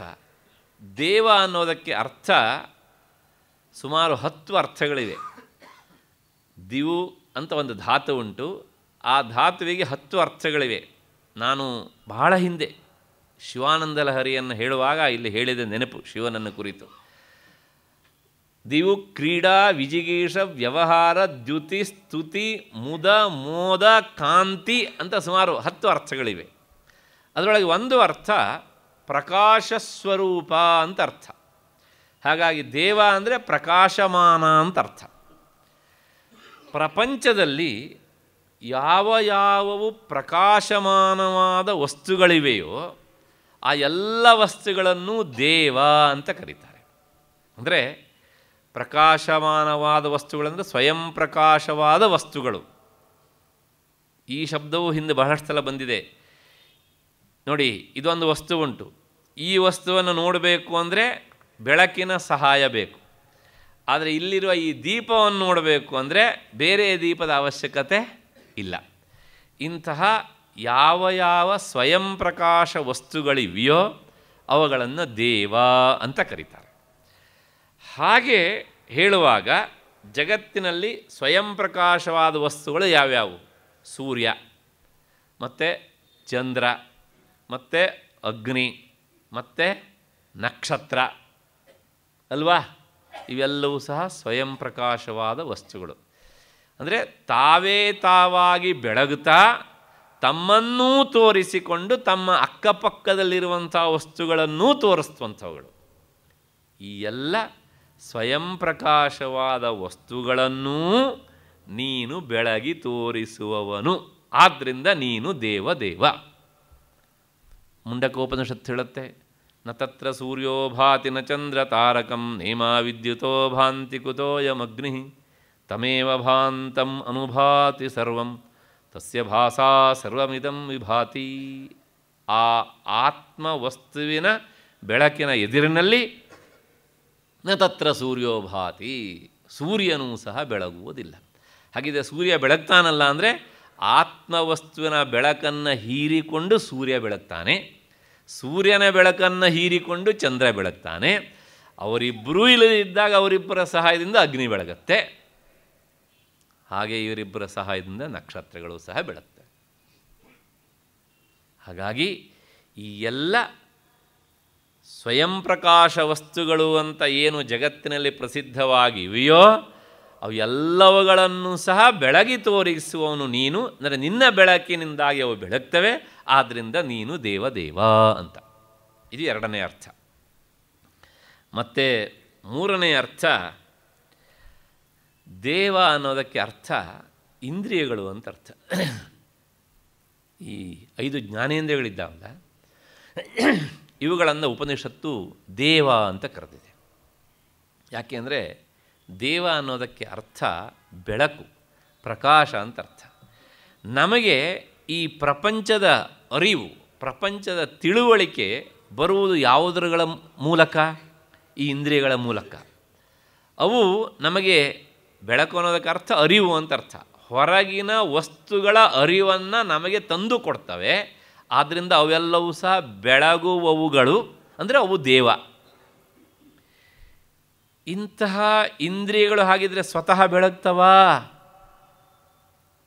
ಡೆಡ್ ಬಾಡಿಯಲ್ಲೂ ಹೊರಗಡೆಯಿಂದ ಇಂದ್ರಿಯಗಳು ಇರ್ತವೆ. ಬೆಳಗ್ತವೋ ಇಲ್ಲ. ಹಾಗಿದ್ರೆ ಈ ಜಡವಾದ ಇಂದ್ರಿಯಗಳನ್ನೂ ಸಹ ಬೆಳಗುವಂತೆ ಯಾವಾತ ಒಳಗಿದ್ದು ಮಾಡ್ತಾ ಇರ್ತಾನೋ ಅವನು ದೇವದೇವ ಅಂದರೆ ನಮ್ಮೆಲ್ಲರ ಒಳಗಿರುವಂತಹ ಪ್ರತ್ಯಕ್ ಆತ್ಮ ಅಂತ ಅರ್ಥ. ಪ್ರತ್ಯಕ್ ಆತ್ಮ ಅಂದರೆ ಒಳಗಿನ ಅಂತರಾತ್ಮ ಅಂತ ಅರ್ಥ. ಹಾಗಾಗಿ ದೇವ ದೇವ. ಈ ಶಬ್ದಕ್ಕೆ ಮೂರು ತರಹದ ಅರ್ಥಗಳು. ಅಂದರೆ ಜಗತ್ತಿನಲ್ಲಿ ಎಷ್ಟೋ ಜನ ಹೇಗಿದ್ದಾರೆ? ಭೂತಭಾವನರು, ಸರ್ವಜನಕರು ಇದ್ದಾರೆ. ಮತ್ತು ಕೆಲವು ಜನ ಭೂತೇಶಂದಿರಿದ್ದಾರೆ. ಆದರೆ ಸರ್ವಜನಕರಾದವರು ಭೂತೇಶರಲ್ಲ, ಭೂತೇಶರಾದವರು ದೇವದೇವರೂ ಅಲ್ಲ. ನೀನು ಹೇಗಿದ್ದೀಯೆ? ಭೂತಭಾವನ ಹೌದು, ಭೂತೇಶ ಹೌದು, ಮತ್ತು ದೇವದೇವನೂ ಹೌದು. ಮತ್ತು ಇನ್ನು ಒಂದು ಶಬ್ದ ಉಳಿತು, ಜಗತ್ಪತೆ ಅಂತ. ಅಂದರೆ ಈ ಜಗತ್ತಿನ ಒಡೆಯ ನೀನು ಅಂತ. ಯಾಕೆ ಈ ವಿಶೇಷಣವನ್ನು ಅರ್ಜುನ ಇಲ್ಲಿ ಹೇಳ್ತಾನೆ ಅಂದರೆ, ಜಗತ್ತಿನಲ್ಲಿ ಎಷ್ಟೋ ಜನ ದೇವತೆಗಳು ತಮ್ಮನ್ನು ತಾವು ಆರಾಧಿಸಿಕೊಳ್ಳುವ ಹಾಗೆ ಇದ್ದಾರೆ. ಅಂದರೆ ಬೇರೆಯವರಿಂದ ಆರಾಧಿಸಿಕೊಳ್ತಾರೆ. ಅಷ್ಟೇ ಅಲ್ಲ, ಹಾಗೆಯೇ ಪರಮಾತ್ಮನೂ ಕೂಡ ಈ ಇತರ ದೇವತೆಗಳಿಂದ ಆತ ಪೂಜೆಗೆ ಯೋಗ್ಯನಾಗಿದ್ದಾನೆ. ಆದರೆ ಬೇರೆ ಯಾರೂ ಸಹ ದೇವತೆಗಳಿಂದ ಪೂಜಿಸುವವರಲ್ಲ.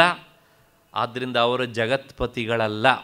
ಆದರೆ ನೀನು ಮಾತ್ರ ಜಗತ್ತಿನ ಪತಿಯೂ ಹೌದು. ದೇವದೇವರು ಎಷ್ಟೋ ಜನ ಇದ್ದಾರೆ, ಆದರೆ ಅವರು ಜಗತ್ಪತಿಗಳಲ್ಲ. ನೀನು ಜಗತ್ಪತಿಯೂ ಆಗಿದ್ದೀಯೇ, ಅಂದರೆ ಜಗದೊಡೆಯ ನೀನು. ಆದ್ದರಿಂದ ಅರ್ಜುನ ಕೃಷ್ಣನನ್ನು ಜಗತ್ಪತಿ ಅಂತ ಸಂಬೋಧನೆ ಮಾಡ್ತಾನೆ ಇಲ್ಲಿ. ಬರೇ ದೇವತೆಗಳಿಗೆ ಜಗತ್ತಿನಲ್ಲಿರುವಂಥ ಈ ಜನರಿಗೆ ಮಾತ್ರ ನೀನು ಪತಿಯೋ, ಅಥವಾ ಬೇರೆ ಇನ್ಯಾರಿಗಾರು ಪತಿಯೋ? ಅಂದರೆ ವಿಶೇಷವಾಗಿ ಅರ್ಜುನನ ಮನಸ್ಸಿನಲ್ಲಿ ಬಂದಂಥ ಅರ್ಥ ಮುಮುಕ್ಷುಗಳು. ಅಂದರೆ ಮೋಕ್ಷವನ್ನು ಇಚ್ಛಿಸುವಂತಹ ಸಾಧಕ ಜನರ ಸಮುದಾಯ ಏನುಂಟಲ್ಲ, ಆ ಸಮುದಾಯವೇ ನಿಜವಾದ ಜಗತ್ತು ಅಧ್ಯಾತ್ಮ ದೃಷ್ಟಿಯಲ್ಲಿ. ಅಂತಹ ಈ ಸಾಧಕ ಸಮುದಾಯ ಎನ್ನುವಂಥ ಜಗತ್ತಿಗೆ ನೀನು ತತ್ವವನ್ನು, ಆತ್ಮತತ್ವವನ್ನು ಉಪದೇಶ ಮಾಡಿ ಅವರನ್ನ ಶುಭ ಕರ್ಮಗಳಲ್ಲಿ ತೊಡಗಿಸ್ತೀಯ. ಅಂದರೆ ಆ ಕರ್ಮಗಳಲ್ಲಿ ಅವರಿಗೆ ಪ್ರವೃತ್ತಿ ಉಂಟಾಗುವಂತೆ ಮಾಡ್ತೀಯ. ಆದ್ದರಿಂದ ನೀನೇ ನಿಜವಾದ ಅರ್ಥದಲ್ಲಿ ಜಗತ್ಪತೆ. ಇಷ್ಟು ಹಿನ್ನೆಲೆಯಲ್ಲಿ ಈ ಶ್ಲೋಕದ ಅರ್ಥ ಇಲ್ಲಿಗೆ ಸಾಕು ಅಂತ ಅಂದ್ಕೊಳ್ಳೋಣ. ಮತ್ತು ಹದಿನಾರನೇ ಶ್ಲೋಕ. ಇಷ್ಟೆಲ್ಲ ವಿಶಿಷ್ಟವಾದ ವಿಶೇಷಣಗಳಿಂದ ಕೂಡಿದಂಥ ನಿನ್ನನ್ನು ಈ ಯಾವ ಒಂದು ವಿಶೇಷಣವೂ ಸರಿಯಾಗಿ ಇಲ್ಲದೆ ಇರುವಂತಹ ಒಬ್ಬ ವ್ಯಕ್ತಿ ತಿಳಿಸಿಕೊಡೋದಕ್ಕೆ ಸಾಧ್ಯನಾ? ಆದ್ದರಿಂದ ನಿನ್ನ ಬಗ್ಗೆ ನೀನೇ ಈಗ ತಿಳಿಸಿಕೊಡಬೇಕು ಅನ್ನೋದನ್ನು ಮುಂದಿನ ಶ್ಲೋಕದಲ್ಲಿ ಅರ್ಜುನ ಕೃಷ್ಣನಿಗೆ ಹೇಳ್ತಾನೆ. ವಕ್ತುಮರ್ಹಸ್ಯ ಶೇಷೇಣ ದಿವ್ಯಾ ಹ್ಯಾತ್ಮವಿಭೂತಯ ಯಾಭಿರ್ವಿಭೂತಿಭಿರ್ಲೋಕಾನ್ ಇಮಾನ್ ತ್ವಂ ವ್ಯಾಪ್ಯ ತಿಷ್ಠಸಿ ಯಾವ ವಿಭೂತಿಗಳಿಂದ ಮಹಿಮಾನ್ವಿತ ವಸ್ತು ರೂಪಗಳಿಂದ, ವಿಶಿಷ್ಟವಾದಂತಹ ರೂಪಗಳಿಂದ ನೀನು ಈ ಸಮಸ್ತ ಲೋಕಗಳನ್ನು ಸಹ ವ್ಯಾಪಿಸಿಕೊಂಡಿದ್ದೀಯೋ, ಆ ವಿಭೂತಿಗಳು ದಿವ್ಯವಾದವುಗಳೇ ಸರಿ. ಅಷ್ಟೇ ಅಲ್ಲ, ಅವನ್ನು ಒಂದೂ ಬಿಡದಂತೆ ಪೂರ್ತಿಯಾಗಿ ನೀನು ನನಗೆ ತಿಳಿಸಿಕೊಡು. ಇದಿಷ್ಟು ಈ ಶ್ಲೋಕದ ಶಬ್ದಶಃ ಅರ್ಥ.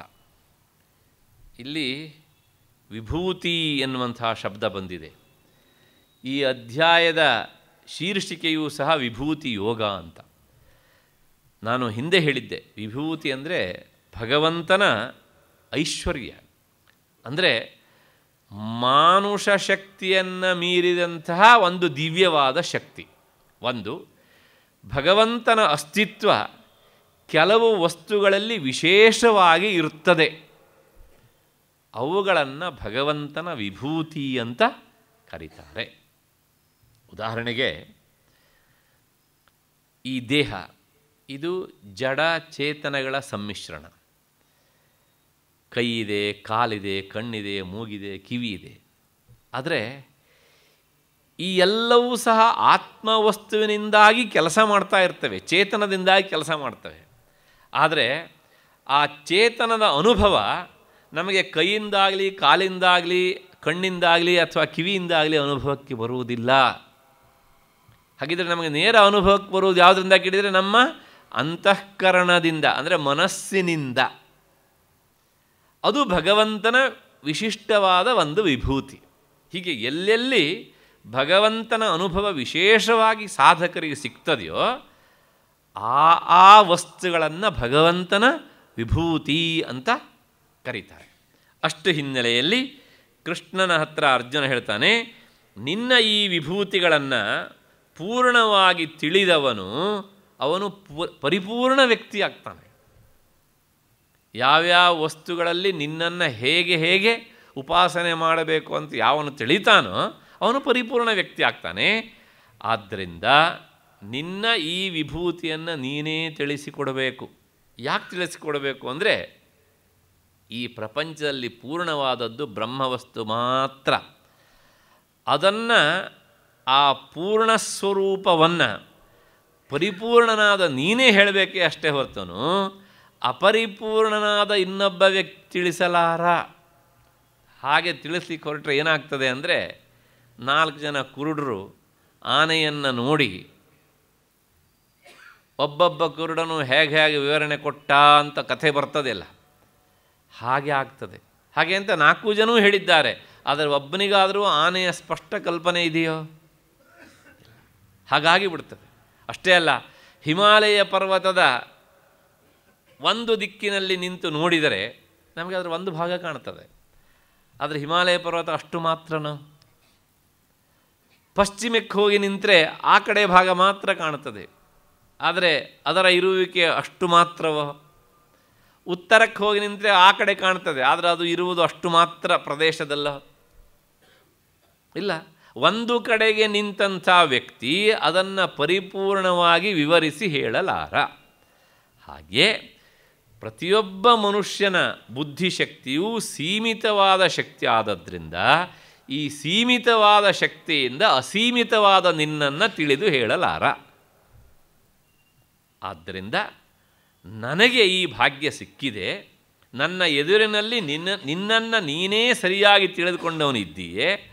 ಅದರಿಂದ ನಿನ್ನನ್ನು ನೀನು ಹೇಗೆ ತಿಳಿದುಕೊಂಡಿದ್ದೀಯೋ, ಮತ್ತು ನನ್ನಂಥವರು ಹೇಗೆ ತಿಳಿದುಕೊಳ್ಳಬೇಕೋ, ಅದಕ್ಕೆ ಪೂರಕವಾದಂಥ ವಿಭೂತಿಗಳನ್ನು ನೀನೇ ನನಗೆ ತಿಳಿಸಿಕೊಡು. ಅಷ್ಟೇ ಅಲ್ಲ, ಸಂಪೂರ್ಣವಾಗಿ ತಿಳಿಸಿಕೊಡೋದಕ್ಕೆ ಹೇಗೆ ಸಾಧ್ಯ?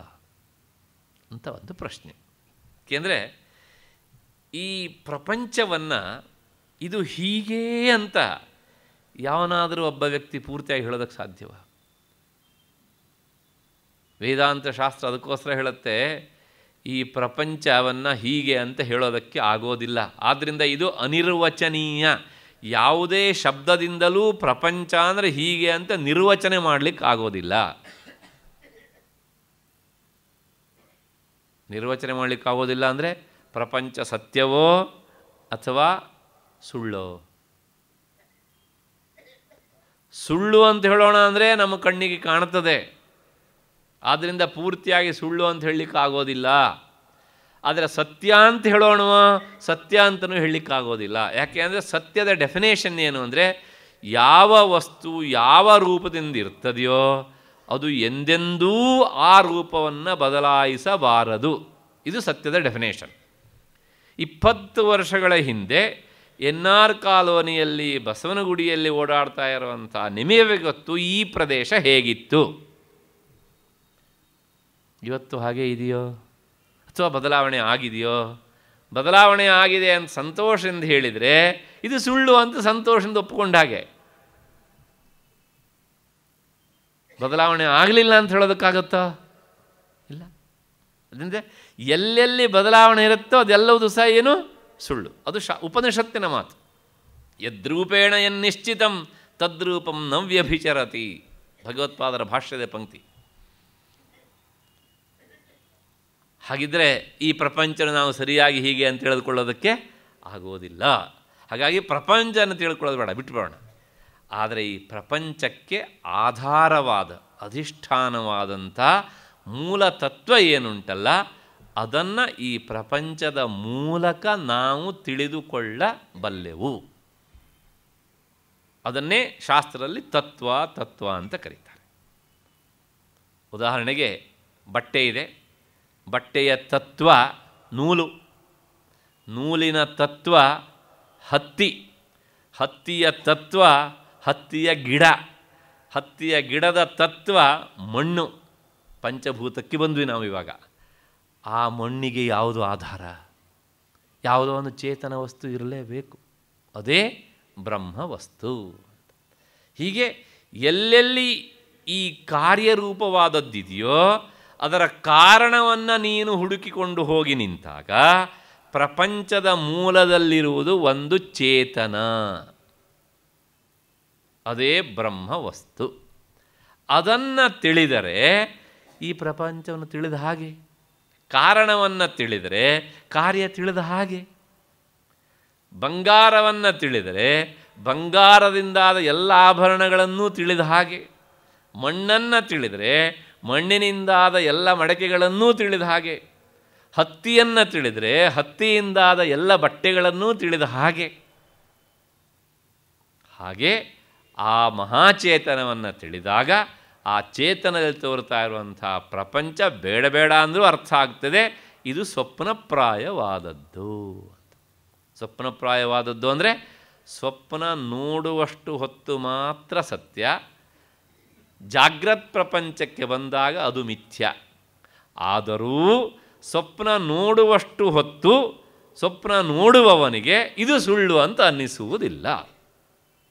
ಅದರ ಸತ್ಯತ್ವ ಅಷ್ಟೇ. ಅಷ್ಟು ಹಿನ್ನೆಲೆಯಲ್ಲಿ ಅರ್ಜುನ ಕೃಷ್ಣ ಅಂತ ಹೇಳ್ತಾನೆ, ನೀನು ಸರ್ವಾಧಿಷ್ಠಾನ, ಎಲ್ಲಕ್ಕೂ ನೀನು ಆಧಾರವಾದಂಥ ಬ್ರಹ್ಮವಸ್ತು ಆದ್ದರಿಂದ ನಾನೂ ಸಹ ಅದೇ ಅಧಿಷ್ಠಾನದಲ್ಲಿಯೇ ಇದ್ದೇನೆ ಅಂತ ತಿಳಿಸುವುದು. ಅಂದರೆ ನೀನು ಸಹ ಇದೇ ಅಧಿಷ್ಠಾನದಲ್ಲಿದ್ದೀಯೇ ಅಂತ ತಿಳಿಸುವುದು ಕೃಷ್ಣನ ಉದ್ದೇಶ.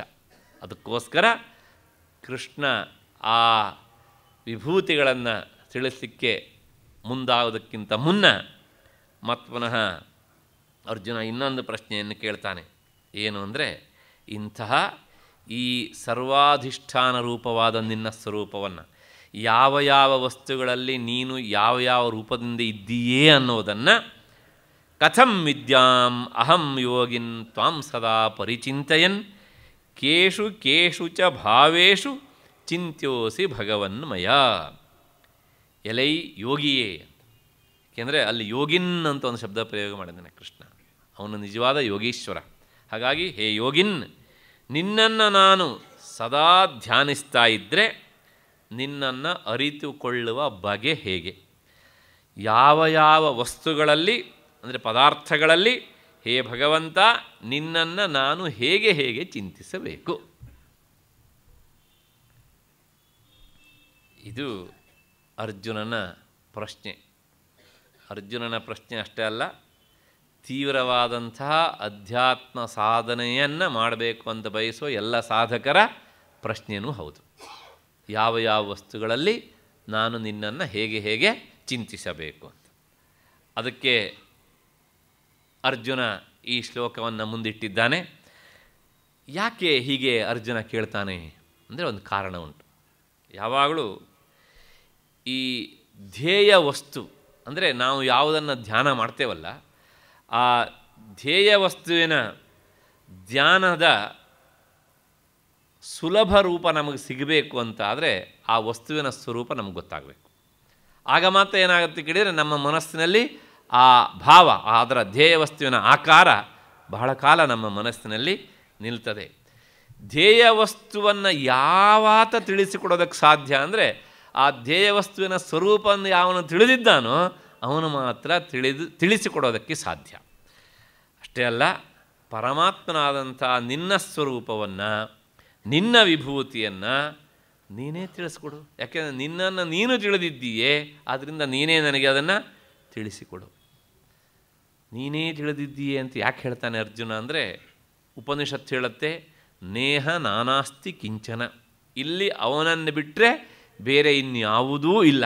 ಇದ್ದರೆ ಅದೆಲ್ಲವುದೂ ಸಹ ಕೇವಲ ಜಡ.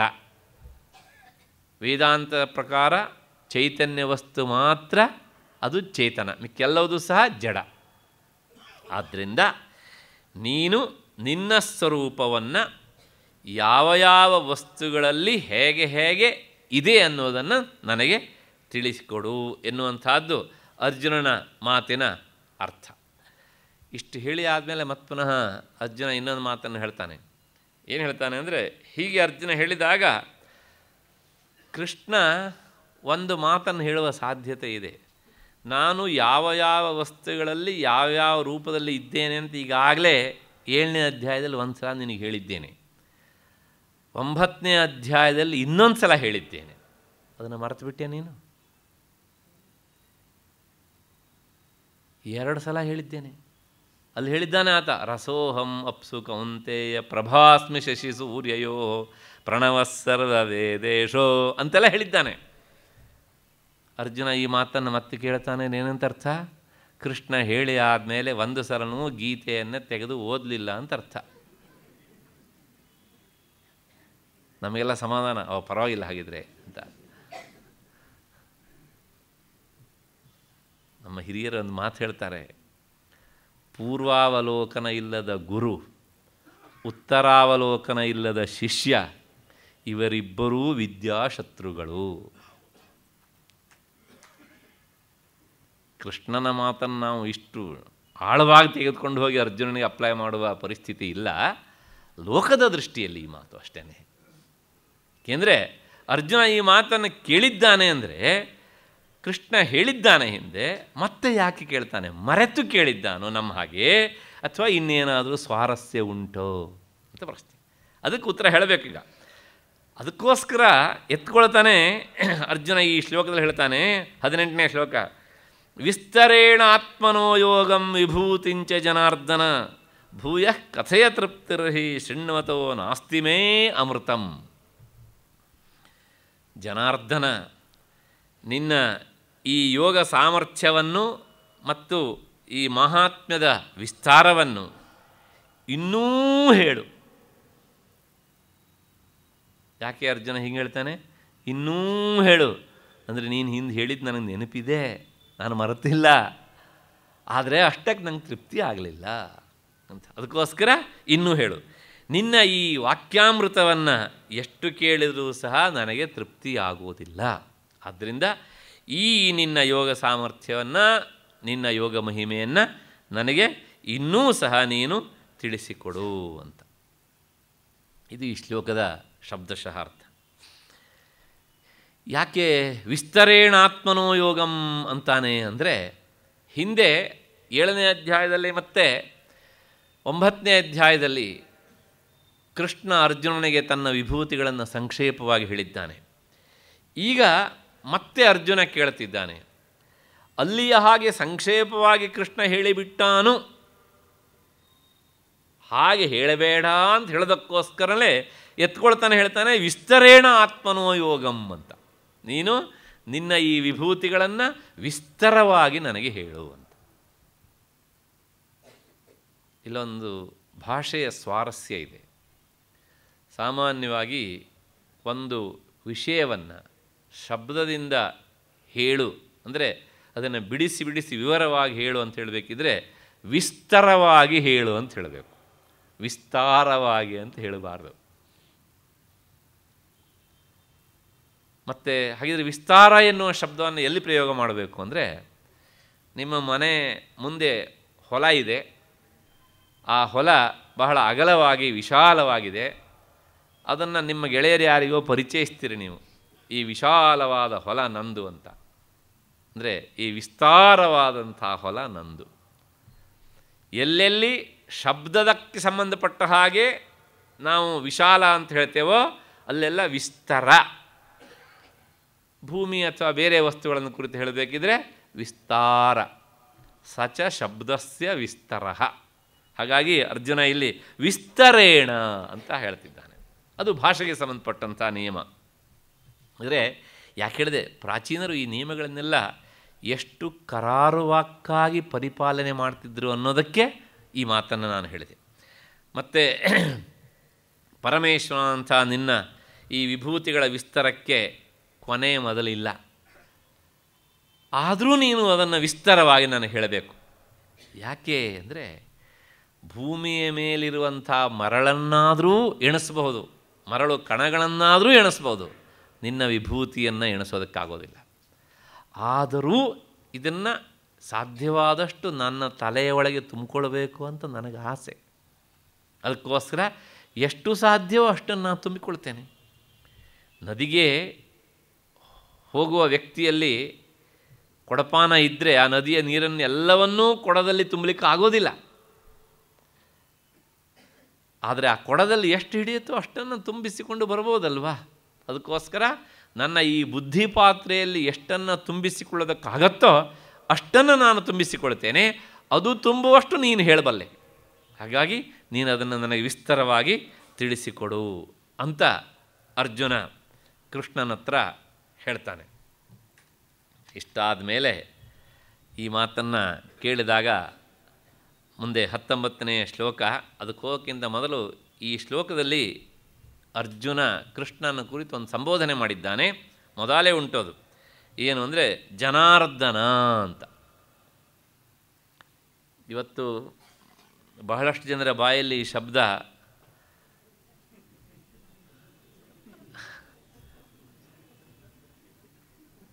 ತೀರಾ ಅಪಶಬ್ದವಾಗಿ ಪ್ರಯುಕ್ತವಾಗ್ತಾ ಇದೆ.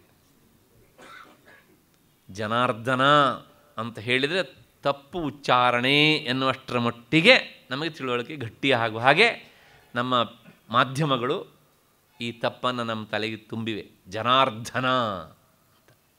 ಈ ಮಾತನ್ನು ಕೇಳಿದರೆ ಆ ಯಾವ ಜನಾರ್ದನನೇ ಪ್ರೀತಿ ಆಗ್ತದೆಯೋ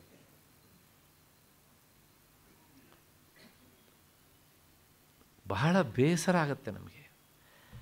ನಮಗೆ ಈ ಎಲ್ಲ ಶಬ್ದಗಳು ಬೇಕು. ಆದರೆ ಎಲ್ಲ ಶಬ್ದಗಳನ್ನು ಹೊತ್ತು ಬರುವಂತಹ ಸಂಸ್ಕೃತ ಭಾಷೆ ಬೇಡ. ಆ ಹೊಲಸಿನ ಪರಿಣಾಮವೇ ಜನಾರ್ದನನೋ ಜನಾರ್ದನನೋ. ಹೃದಯವೋ ಹೃದಯವೋ. ನಮಗೆ ಬಾಲ ಹಾಕದೇ ಇದ್ದರೆ ನಾವೇನೋ ತಪ್ಪು ಮಾಡಿಬಿಟ್ವಿ ಅಂತ. ಅಷ್ಟರ ಮಟ್ಟಿಗೆ ಎಲ್ಲ ಶಬ್ದಗಳನ್ನು ನಾವು ಕುಲುಗೆಡಿಸಿಟ್ಟಿದ್ದೇವೆ. ನಾವು ಕುಲುಗೆಡಿಸ್ತೇವೆ ಅಂತ ಗೊತ್ತು ನಮ್ಮ ಪ್ರಾಚೀನರಿಗೆ. ಅದಕ್ಕೋಸ್ಕರ ಈ ಶಬ್ದದ ನಿಷ್ಪತ್ತಿಯನ್ನು ಮತ್ತು ಇದರ ಅರ್ಥವನ್ನು ಭಾಷ್ಯಕಾರರು ಅವರ ಭಾಷೆಯಲ್ಲಿ ಬಹಳ ಸುಂದರವಾಗಿ ಕೊಡ್ತಾರೆ. ಜನಾರ್ದನ ಅನ್ನೋದಕ್ಕೆ ಅರ್ಥ ಏನು ಅಂದರೆ ಈ ಶಬ್ದದ ಎಟಿಮಾಲಜಿ ಅಂದರೆ ಅದರ ವಿವರಣೆ ಮತ್ತು ಅದರ ಹಿಂದಿರುವಂಥ ಧಾತು ಯಾವುದು ಅಂದರೆ ಅರ್ಧತೆ ಗತಿಕರ್ಮಣ ಅಂದರೆ ಅರ್ಧ ಅಂತ ಒಂದು ಧಾತು ಉಂಟು. ಅದಕ್ಕೆ ಎರಡು ಅರ್ಥ ವಿಶೇಷವಾಗಿ. ಒಂದು, ಎಲ್ಲರಿಗೂ ಒಂದು ಗತಿ ಕಾಣಿಸುವನು ಅಂತ ಅರ್ಥ. ಮತ್ತು ಇನ್ನೊಂದು ಅರ್ಥ ಯಾಚನೆ, ಪ್ರಾರ್ಥಿಸುವುದು, ಬೇಡುವುದು ಅಂತ ಇನ್ನೊಂದು ಅರ್ಥ. ಆಚಾರ್ಯ ಶಂಕರರು ಎರಡಕ್ಕೂ ವಿವರಣೆಯನ್ನು ಕೊಡ್ತಾರೆ. ಅಸುರಾಣಂ ದೇವ ಪ್ರತಿಪಕ್ಷಭೂತಾನಾಂ ಜನಾನಾಂ ನರಕಾದಿ ಗಮಯಿತೃತ್ವಾತ್ ಜನಾರ್ದನ. ದುಷ್ಟರಿಗೆ ಅವರು ಮಾಡಿದಂಥ ಕರ್ಮಕ್ಕೆ ತಕ್ಕುದಾದಂಥ ಫಲವನ್ನು ಕೊಟ್ಟು ನರಕಕ್ಕೆ ಕಳಿಸ್ತಾನಾದ್ದರಿಂದ ಅವನು ಜನಾರ್ದನ. ಜನಾನ್ ಅರ್ಧಯತಿ, ಪೀಡಯತಿ ಇದು ಜನಾರ್ದನ. ಅಂದರೆ ಜನಾನ್ ಅಂದರೆ ಸಜ್ಜನರನ್ನಲ್ಲ, ದುಷ್ಟ ಜನಾನ್ ಅಂತ ಅರ್ಥ. ಆದ್ದರಿಂದ ಅವನು ಜನಾರ್ದನ. ಇದು ಒಂದರ್ಥ. ಮತ್ತು ಇನ್ನೊಂದರ್ಥ, ಅಭ್ಯುದಯ ನಿಶ್ಚಯಸ ಪುರುಷಾರ್ಥ ಪ್ರಯೋಜನಂ ಸರ್ವೈ ಜನೈ ಯಾಚ್ಯತೆ. ಪ್ರಪಂಚದಲ್ಲಿ ಎರಡು ತರಹದ ಜನರು. ಈ ಪ್ರವೃತ್ತಿ ಮಾರ್ಗದಲ್ಲಿ ಹೋಗುವವರು ಕೆಲವು ಜನ. ಸಂಸಾರಿಗಳಾಗಿ, ಗೃಹಸ್ಥರಾಗಿ, ಕಾಮ್ಯಕರ್ಮಗಳನ್ನು ಮಾಡ್ತಾ ಮುಂದೆ ಸಾಗುವವರು ಕೆಲವು ಜನ. ಇನ್ನು ನಿಶ್ರೇಯಸ್, ಅಂದರೆ ಅಧ್ಯಾತ್ಮ ಪಥದಲ್ಲಿ ಸಾಗುವವರು ಇನ್ನು ಮತ್ತೆ ಕೆಲವು ಜನ. ಈ ಇಬ್ಬರೂ ಸಹ ಅವನ ಹತ್ರ ತಮ್ಮ ತಮ್ಮ ಪ್ರಯತ್ನಕ್ಕೆ ತಕ್ಕುದಾದಂಥ ಫಲವನ್ನು ಪ್ರಾರ್ಥಿಸ್ತಾರೆ. ಆದ್ದರಿಂದ ಅವನು ಜನಾರ್ದನ. ಸರ್ವೈ ಜನೈ ಯಾಚ್ಯತೆ ಇತಿವಾ. ಹೀಗೆ ಎಲ್ಲ ಜನರು ಅವರವರ ಫಲಕ್ಕೋಸ್ಕರ, ಅವರವರ ಕಾಮನೆಯನ್ನು ಈಡೇರಿಸಿಕೊಳ್ಳೋದಕ್ಕೋಸ್ಕರ ನಿನ್ನನ್ನು ಬೇಡ್ತಾರೆ. ನಿನ್ನ ಭಕ್ತನಂತ ನಾನು ನಿನ್ನನ್ನು ಬೇಡುವುದು ತಪ್ಪ. ಅವರೆಲ್ಲರಿಗೂ ಸಹ ಬೇಕಾದ್ದನ್ನು ಕೊಡುವಂಥ ನೀನು ನನಗೆ ಬೇಕಾದ್ದನ್ನು ಕೊಡದೇ ಇರ್ತೀಯ? ಕೊಟ್ಟೇ ಕೊಡ್ತೀಯ. ಇಷ್ಟು ಅರ್ಥದ ಹಿನ್ನೆಲೆಯಲ್ಲಿ ಅರ್ಜುನ ಕೃಷ್ಣನ ಕುರಿತು ಜನಾರ್ದನ ಅಂತ ಸಂಬೋಧಿಸಿದ. ಇಷ್ಟಾದಾಗ, ಈಗ ಅರ್ಜುನ ಇಷ್ಟೆಲ್ಲ ಕೇಳಿದಾಗ ಕೃಷ್ಣ ಹೇಳ್ತಾನೆ, ಶ್ರೀ ಭಗವಾನು ವಾಚ. ಹಂತತೆ ಕಥಯಿಷ್ಯಾಮಿ, ದಿವ್ಯಾ ಹ್ಯಾತ್ಮವಿಭೂತಯ ಪ್ರಾಧಾನ್ಯತಃ ಕುರುಶ್ರೇಷ್ಠ, ನಾಸ್ತ್ಯಂತೋ ವಿಸ್ತರಸ್ಯ ಮೇ. ಕೃಷ್ಣ ಹೇಳಿದ, ಅರ್ಜುನ ಇಷ್ಟೆಲ್ಲ ಮತ್ತೆ ಮತ್ತೆ ಮತ್ತೆ ಮತ್ತೆ ನೀನು ಹೇಳಲೇಬೇಕು ಅಂತ ಬಲವಂತ ಮಾಡಿದಾಗ ಕೃಷ್ಣನಿಗೆ ಬೇಸರ ಆಗಲಿಲ್ವಂತೆ. ಸಂತೋಷ ಆಯ್ತಂತೆ. ಅದಕ್ಕೋಸ್ಕರ ವೇದವ್ಯಾಸ ಒಂದು ಶಬ್ದ ಪ್ರಯೋಗ ಮಾಡ್ತಾರೆ, ಹಂತ, ಆಹಾ ಅಂತ ಅರ್ಥ. ಅಬ್ಬಾ. ಮತ್ತು ಅದಕ್ಕೆ ವಿವರಣೆ ಆಮೇಲೆ ನೋಡೋಣ. ಅಲ್ಲಪ್ಪ, ಆಗಲಪ್ಪ ಅರ್ಜುನ, ಈ ದಿವ್ಯವಾದಂಥ ನನ್ನ ಆತ್ಮವಿಭೂತಿಗಳಿದ್ದಾವಲ್ಲ, ಅವುಗಳಲ್ಲಿ ಮುಖ್ಯವಾದದ್ದನ್ನು ಆರಿಸಿ ನಿನಗೆ ನಾನು ಹೇಳ್ತೇನೆ. ಯಾಕೆ ಮುಖ್ಯವಾದ್ದನ್ನು ಆರಿಸಿ ಹೇಳ್ತೀಯ ಕೃಷ್ಣ? ಅಂದರೆ ಅವುಗಳಿಗೆ ಕೊನೆ ಮೊದಲಿಲ್ಲಪ್ಪ. ಆದ್ದರಿಂದ ಅವುಗಳಲ್ಲಿ ಯಾವುದನ್ನು ಹೇಳಿದರೆ ನಿನಗೆ ಸುಲಭವಾಗಿ ಅರ್ಥ ಆಗಬಹುದು. ನಿನಗೆ ಅಂದರೆ ನಿನ್ನಂಥವರಿಗೆ ಸುಲಭವಾಗಿ ಅರ್ಥ ಆಗಬಹುದು. ಅದನ್ನು ಅವುಗಳನ್ನು ನಾನು ಆರಿಸಿ ಆರಿಸಿ ಹೇಳ್ತೇನೆ. ಇದಿಷ್ಟು ಈ ಶ್ಲೋಕದ ಅರ್ಥ. ಯಾಕೆ ಅರ್ಜುನ ಈ ರೀತಿಯಾಗಿ ಹೇಳಿದಾಗ ಕೃಷ್ಣ, ಹಂತ, ಆಹಾ ಅಂತ ಸಂತೋಷವನ್ನು ವ್ಯಕ್ತಪಡಿಸಿದ. ಅದು ಸಂತೋಷವೂ ಹೌದು, ಸ್ವಲ್ಪ ವ್ಯಥೆಯೂ ಹೌದು. ಯಾಕೆಂದರೆ ಕಾರಣ ಇಷ್ಟೇ. ಈ ಪ್ರಸಂಗ ನಡೆಯುವಾಗ ಕುರುಕ್ಷೇತ್ರ ಸುಮಾರು ಎಷ್ಟು ಜನ ಇದ್ದರು ಹದಿನೆಂಟು ಅಕ್ಷೋಹಿಣಿ. ಅಲ್ವಾ? ಪ್ರತಿಯೊಬ್ಬರ ದೇಹದೊಳಗೂ ಒಬ್ಬ ಆತ್ಮ ಇದ್ದಾನೆ. ಆತ್ಮವಸ್ತು ಅನ್ನೋದು ಇದೆ ಅನ್ನೋದ್ರ ಬಗ್ಗೆ ಯಾರಿಗೂ ಸಂಶಯ ಇಲ್ಲ. ಅದರ ಆತ್ಮವಸ್ತುವಿನ ಸ್ವರೂಪದ ಬಗ್ಗೆ ಬೇರೆ ಬೇರೆ ಅಭಿಪ್ರಾಯಗಳಿವೆ. ಇಷ್ಟೆಲ್ಲ ಜನ ಆತ್ಮ ಆತ್ಮ ಆತ್ಮ ಅಂತ ಹೇಳ್ತಾ ಇದ್ರೂ ಇಷ್ಟು ಜನರ ಮಧ್ಯೆಯಲ್ಲಿ ಯಾರಿಗೂ ಇದನ್ನು ತಿಳ್ಕೊಳ್ಬೇಕು ಅನ್ನುವಂಥ ಆಸೆ ಇಲ್ಲದೇ ಇದ್ದಾಗ ಕೊನೆಯ ಪಕ್ಷ ನೀನು ಒಬ್ಬನಾದರೂ ನನ್ನ ಶಿಷ್ಯನಾಗಿ ಸಿಕ್ಕದಿಲ್ಲಪ್ಪ ಆಹಾ, ನೀನು ಒಬ್ಬನಾದರೂ ಸಿಕ್ಕದಿಲ್ಲಪ್ಪ ಅಬ್ಬಬ್ಬಾ, ನೀನು ಒಬ್ಬನಾದರೂ ಸಿಕ್ಕದಿಲ್ಲಪ್ಪ ನೋಡಿ, ಈ ಸಂದರ್ಭ ಬಂದಿದ್ದಕ್ಕೆ ಒಂದು ಮಾತು ಹೇಳಿಬಿಡ್ತೇನೆ. ನಾನು ಒಂದು ಕಡೆಗೆ ಉಪನ್ಯಾಸಕ್ಕೆ ಹೋಗಿದ್ದೆ. ಯಾರೋ ಒಬ್ಬ ಯತಿಗಳು ಗೀತೆಗೆ ಸಂಬಂಧಪಟ್ಟ ಹಾಗೆ ಉಪನ್ಯಾಸದ ವ್ಯವಸ್ಥೆಯನ್ನು ಮಾಡಿದ್ದರು ಈಗ ಸುಮಾರು ಆರೇಳು ವರ್ಷಗಳ ಹಿಂದೆ. ಅಲ್ಲಲ್ಲಿ ಕೇಂದ್ರಗಳನ್ನು ಮಾಡಿದರು. ಆ ಕೇಂದ್ರಗಳನ್ನು ಮಾಡಿ ಉಪನ್ಯಾಸ ವ್ಯವಸ್ಥೆ ಮಾಡಿದಾಗ ಯಾವುದೋ ಒಂದು ಕೇಂದ್ರಕ್ಕೆ ನಾನು ಹೋಗಿದ್ದೆ. ಆದರೆ ಅಲ್ಲಿ ಹೋದಾಗ ಏನಾಯಿತು ಕೇಳಿದರೆ ಆ ಕೇಂದ್ರವನ್ನು ವ್ಯವಸ್ಥೆ ಮಾಡಿದಂತಹ ಮಹಿಳೆ ಅವಳೊಬ್ಬಳು ಇದ್ಲು. ಛೇ, ನಮ್ಮ ಮನೆಯವರು ಒಬ್ಬಳೇ ಇದ್ದಾಳಲ್ಲ ಅಂಥೇಳಿ ಆಮೇಲೆ ಉಪನ್ಯಾಸಕ್ಕೆ ಅವರು ಯಜಮಾನರು ಬಂದು ಕೂತ್ಕೊಂಡ್ರು. ನಾನು ಒಂದು ತಾಸು ಏನು ಹೇಳಬೇಕು? ಗೀತೆಯನ್ನು ಹೇಳಿ ಬಂದೆ. ಆಮೇಲೆ ಮಾರನೇ ದಿವಸದಿಂದ ಜನ ಸ್ವಲ್ಪ ಜಾಸ್ತಿ ಆದರು. ಅವರು ಹೇಳಿದರು ಕೊನೆಗೆ, ನಮಗೆ ಬಹಳ ಬೇಸರ ಆಯಿತು ಒಳ್ಳೆಯ ಉಪನ್ಯಾಸ ನಡೀತು, ಆದರೆ ಕೇಳಲಿಕ್ಕೆ ಮಾತ್ರ ಜನಸಂಖ್ಯೆ ತುಂಬ ಕಡಿಮೆ ಆಯಿತು ಅಂತ. ಆಮೇಲೆ ನಾನು ಹೇಳಿದೆ, ನಿಮಗೆ ಬೇಸರ ಆಗಿರ್ಬೋದು, ನನಗೆ ಬಹಳ ಸಂತೋಷ ಆಗಿದೆ ಅಂತ. ಯಾಕೆ ಕೇಳಿದರೆ ಕುರುಕ್ಷೇತ್ರದಲ್ಲಿ ಅಷ್ಟೊಂದು ಜನ ಇದ್ದರು ಕೃಷ್ಣ ಗೀತೆಯನ್ನು ಹೇಳಬೇಕಿದ್ರೆ. ಆದರೆ ಕೇಳಿಸಿಕೊಂಡವನು ಅರ್ಜುನ ಒಬ್ಬ ಮಾತ್ರ. ಆದರೆ ನನ್ನ ಭಾಗ್ಯ ಅವನಕ್ಕಿಂತ ದೊಡ್ಡದು. ಯಾಕೆಂದರೆ ಕೊನೆ ಪಕ್ಷ ನನಗೆ ಮೊದಲನೇ ದಿವಸನೇ ನೀವಿಬ್ಬರು ಸಿಕ್ಕಿದ್ದೀರಿ.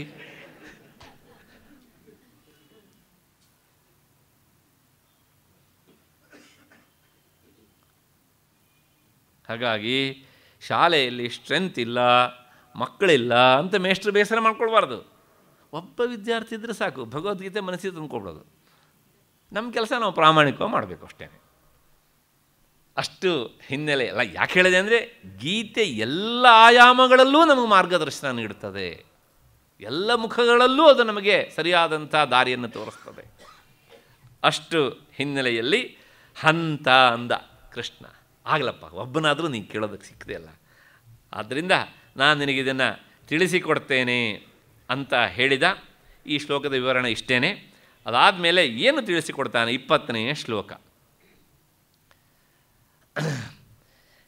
ಅಹಮಾತ್ಮ ಗುಡಾಕೇಶ ಸರ್ವಭೂತಾಶಯ ಸ್ಥಿತ ಅಹಮಾದಿಶ್ಚ ಮಧ್ಯಂಚ ಭೂತಾನಾಂ ಅಂತ ಚ. ಎಲೈ ಗುಡಾಕೇಶ, ಗುಲ, ಗುಡಾಕೇಶ ಅಂದರೆ ಅರ್ಜುನ. ನಾನು ಸರ್ವಪ್ರಾಣಿಗಳ ಹೃದಯದಲ್ಲಿರುವಂತಹ ಪ್ರತ್ಯೇಗಾತ್ಮನಾಗಿದ್ದೇನೆ.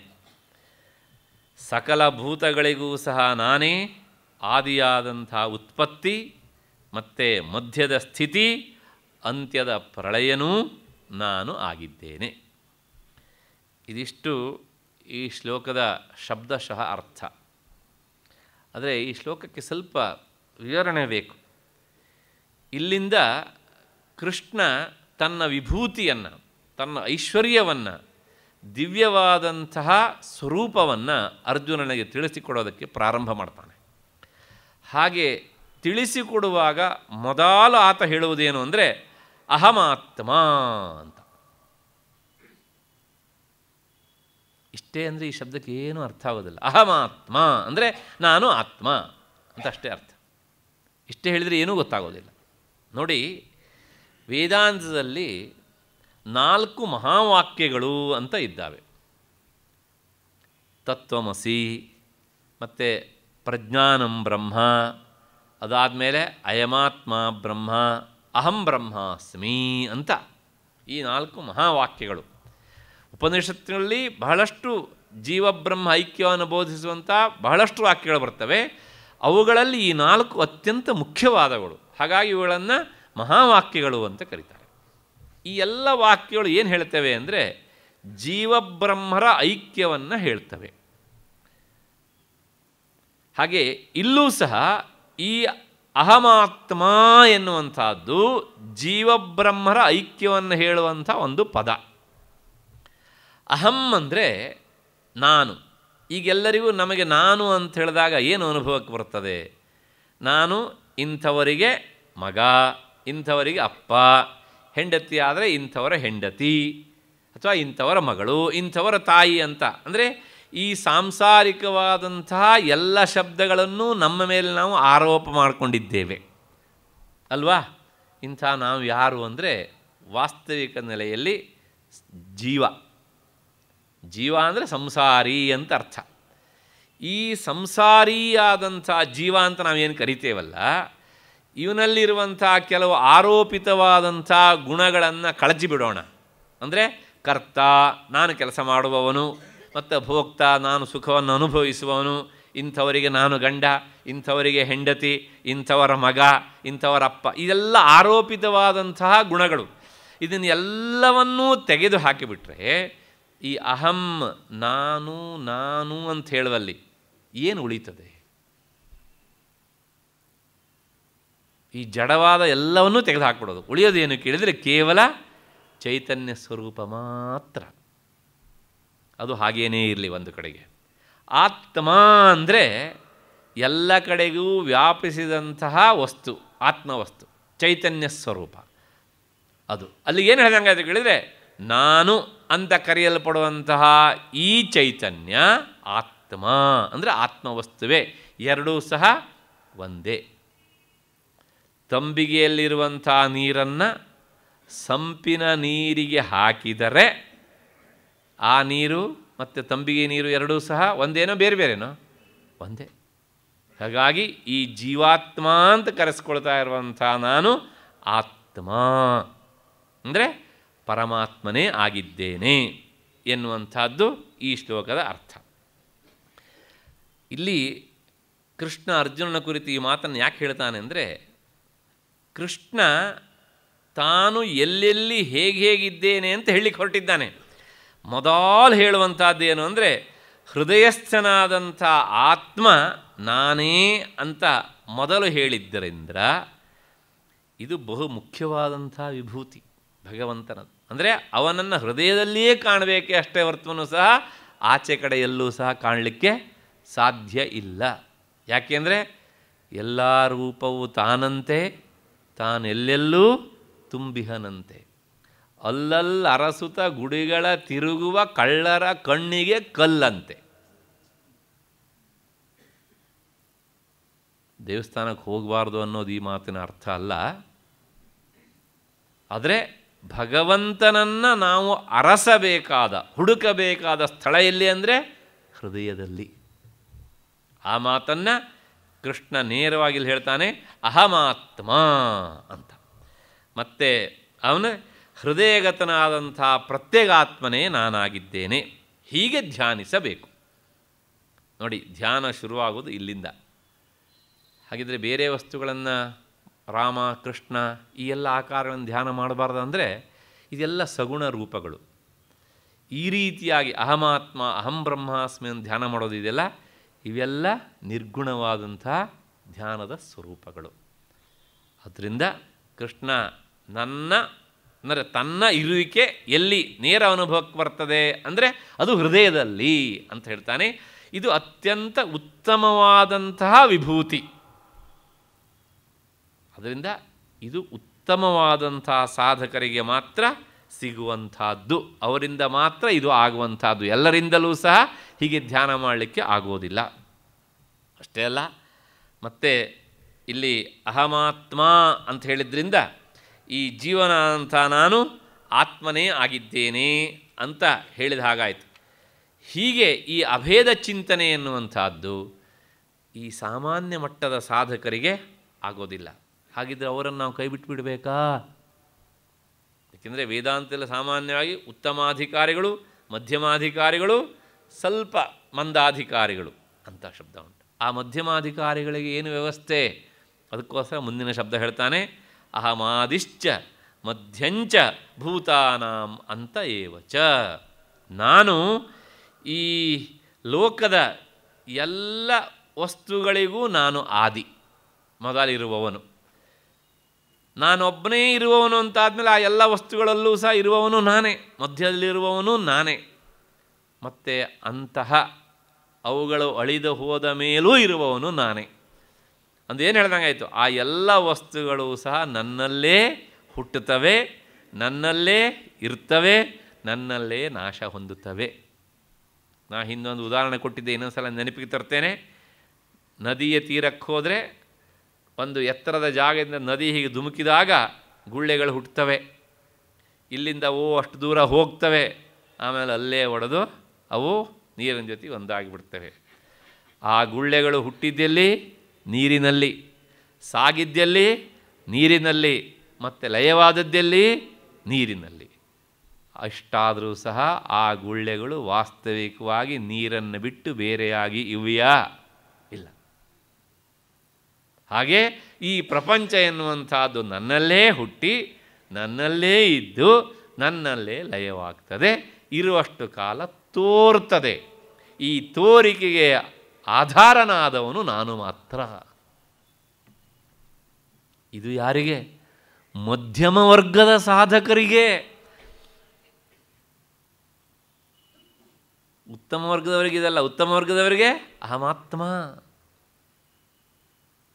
ಹೀಗೆ ಈ ಶ್ಲೋಕ ಭಗವಂತನ ಮೊದಲ ವಿಭೂತಿ ಅನ್ನ ಹೇಳುತ್ತದೆ ಉತ್ತಮ ವರ್ಗದ ಸಾಧಕದವರು, ಆದಗ, ಆದವರಿಗೆ ಮತ್ತು ಮಧ್ಯಮ ವರ್ಗದವರಿಗೆ ವಿಭೂತಿ ಅಂದರೆ ಸಾಧನೆಗೆ ಅನುಕೂಲ ಆಗಲಿ ಅನ್ನುವಂಥ ಹಿನ್ನೆಲೆಯಲ್ಲಿ ಹೇಗೆ ಭಗವಂತನ ಧ್ಯಾನ ಮಾಡಬೇಕು ಅಂತ ಅಹಮಾದಿಶ್ಚ ಮಧ್ಯಂಚ ಭೂತಾನಾಂ ಅಂತ ಏವಚ. ಈ ಶ್ಲೋಕದ ಉತ್ತರಾರ್ಧ ಪೂರ್ತಿ ಮಧ್ಯಮ ವರ್ಗದ ಸಾಧಕರಿಗೆ ಸಾಧನೆಗೆ ಯೋಗ್ಯವಾದಂಥ ಮಾರ್ಗದರ್ಶನ ಮಾಡ್ತಾರೆ. ಮೊದಲನೇ ಪದ, ಉತ್ತಮ ವರ್ಗದವರಿಗೆ. ಇಷ್ಟಾದ ಮೇಲೆ ಈಗ ಮತ್ತು ಪುನಃ ನಮ್ಮನ್ನು ಕಾಡುವಂಥ ಒಂದು ಪ್ರಶ್ನೆ ಏನು ಅಂದರೆ, ಹಾಗಿದ್ರೆ ಈ ತೀರಾ ಸಾಮಾನ್ಯ ಮಟ್ಟದ ಅಂದರೆ ಮಂದಾಧಿಕಾರಿಗಳು ಅಂತ. ನೀಚಾಧಿಕಾರಿಗಳು ಅಂತ ಹೇಳ್ಕೂಡ್ದು, ಮಂದಾಧಿಕಾರಿಗಳು ಅಂತ. ಅವರಿಗೆ ಏನು ವ್ಯವಸ್ಥೆ ಈ ಶ್ಲೋಕದಲ್ಲಿ? ಅವರನ್ನು ಪೂರ್ತಿ ಉಪೇಕ್ಷೆ ಮಾಡಿಬಿಡ್ಬೇಕಾ? ಅಂದರೆ ಅವರನ್ನು ಉಪೇಕ್ಷೆ ಮಾಡಬಾರದು. ಅವರಿಗೆ ಹೆಚ್ಚು ತಿಳಿಸಿಕೊಡಬೇಕು. ಅದಕ್ಕೋಸ್ಕರಲೇ ಇಪ್ಪತ್ತೊಂದನೇ ಶ್ಲೋಕದಿಂದ ಈ ಅಧ್ಯಾಯದ ಕೊನೆಯವರೆಗೂ ಸಹ ಈ ಮಂದಾಧಿಕಾರಿಗಳಿಗೆ ಅನುಕೂಲ ಆಗಲಿ ಅಂತಲೇ ಭಗವಂತ ತನ್ನ ವಿಭೂತಿಗಳನ್ನು ತಿಳಿಸಿಕೊಡ್ತಾನೆ. ಅದನ್ನು ನಾಳೆ ಆರೂವರೆಗೆ ಸೇರಿದಾಗ ಅಲ್ಲಿಂದ ಚಿಂತನೆಯನ್ನು ಪ್ರಾರಂಭ ಮಾಡೋಣ. ಅಲ್ಲಿವರೆ ನಿಮಗೆಲ್ಲರಿಗೂ ನಮಸ್ಕಾರ.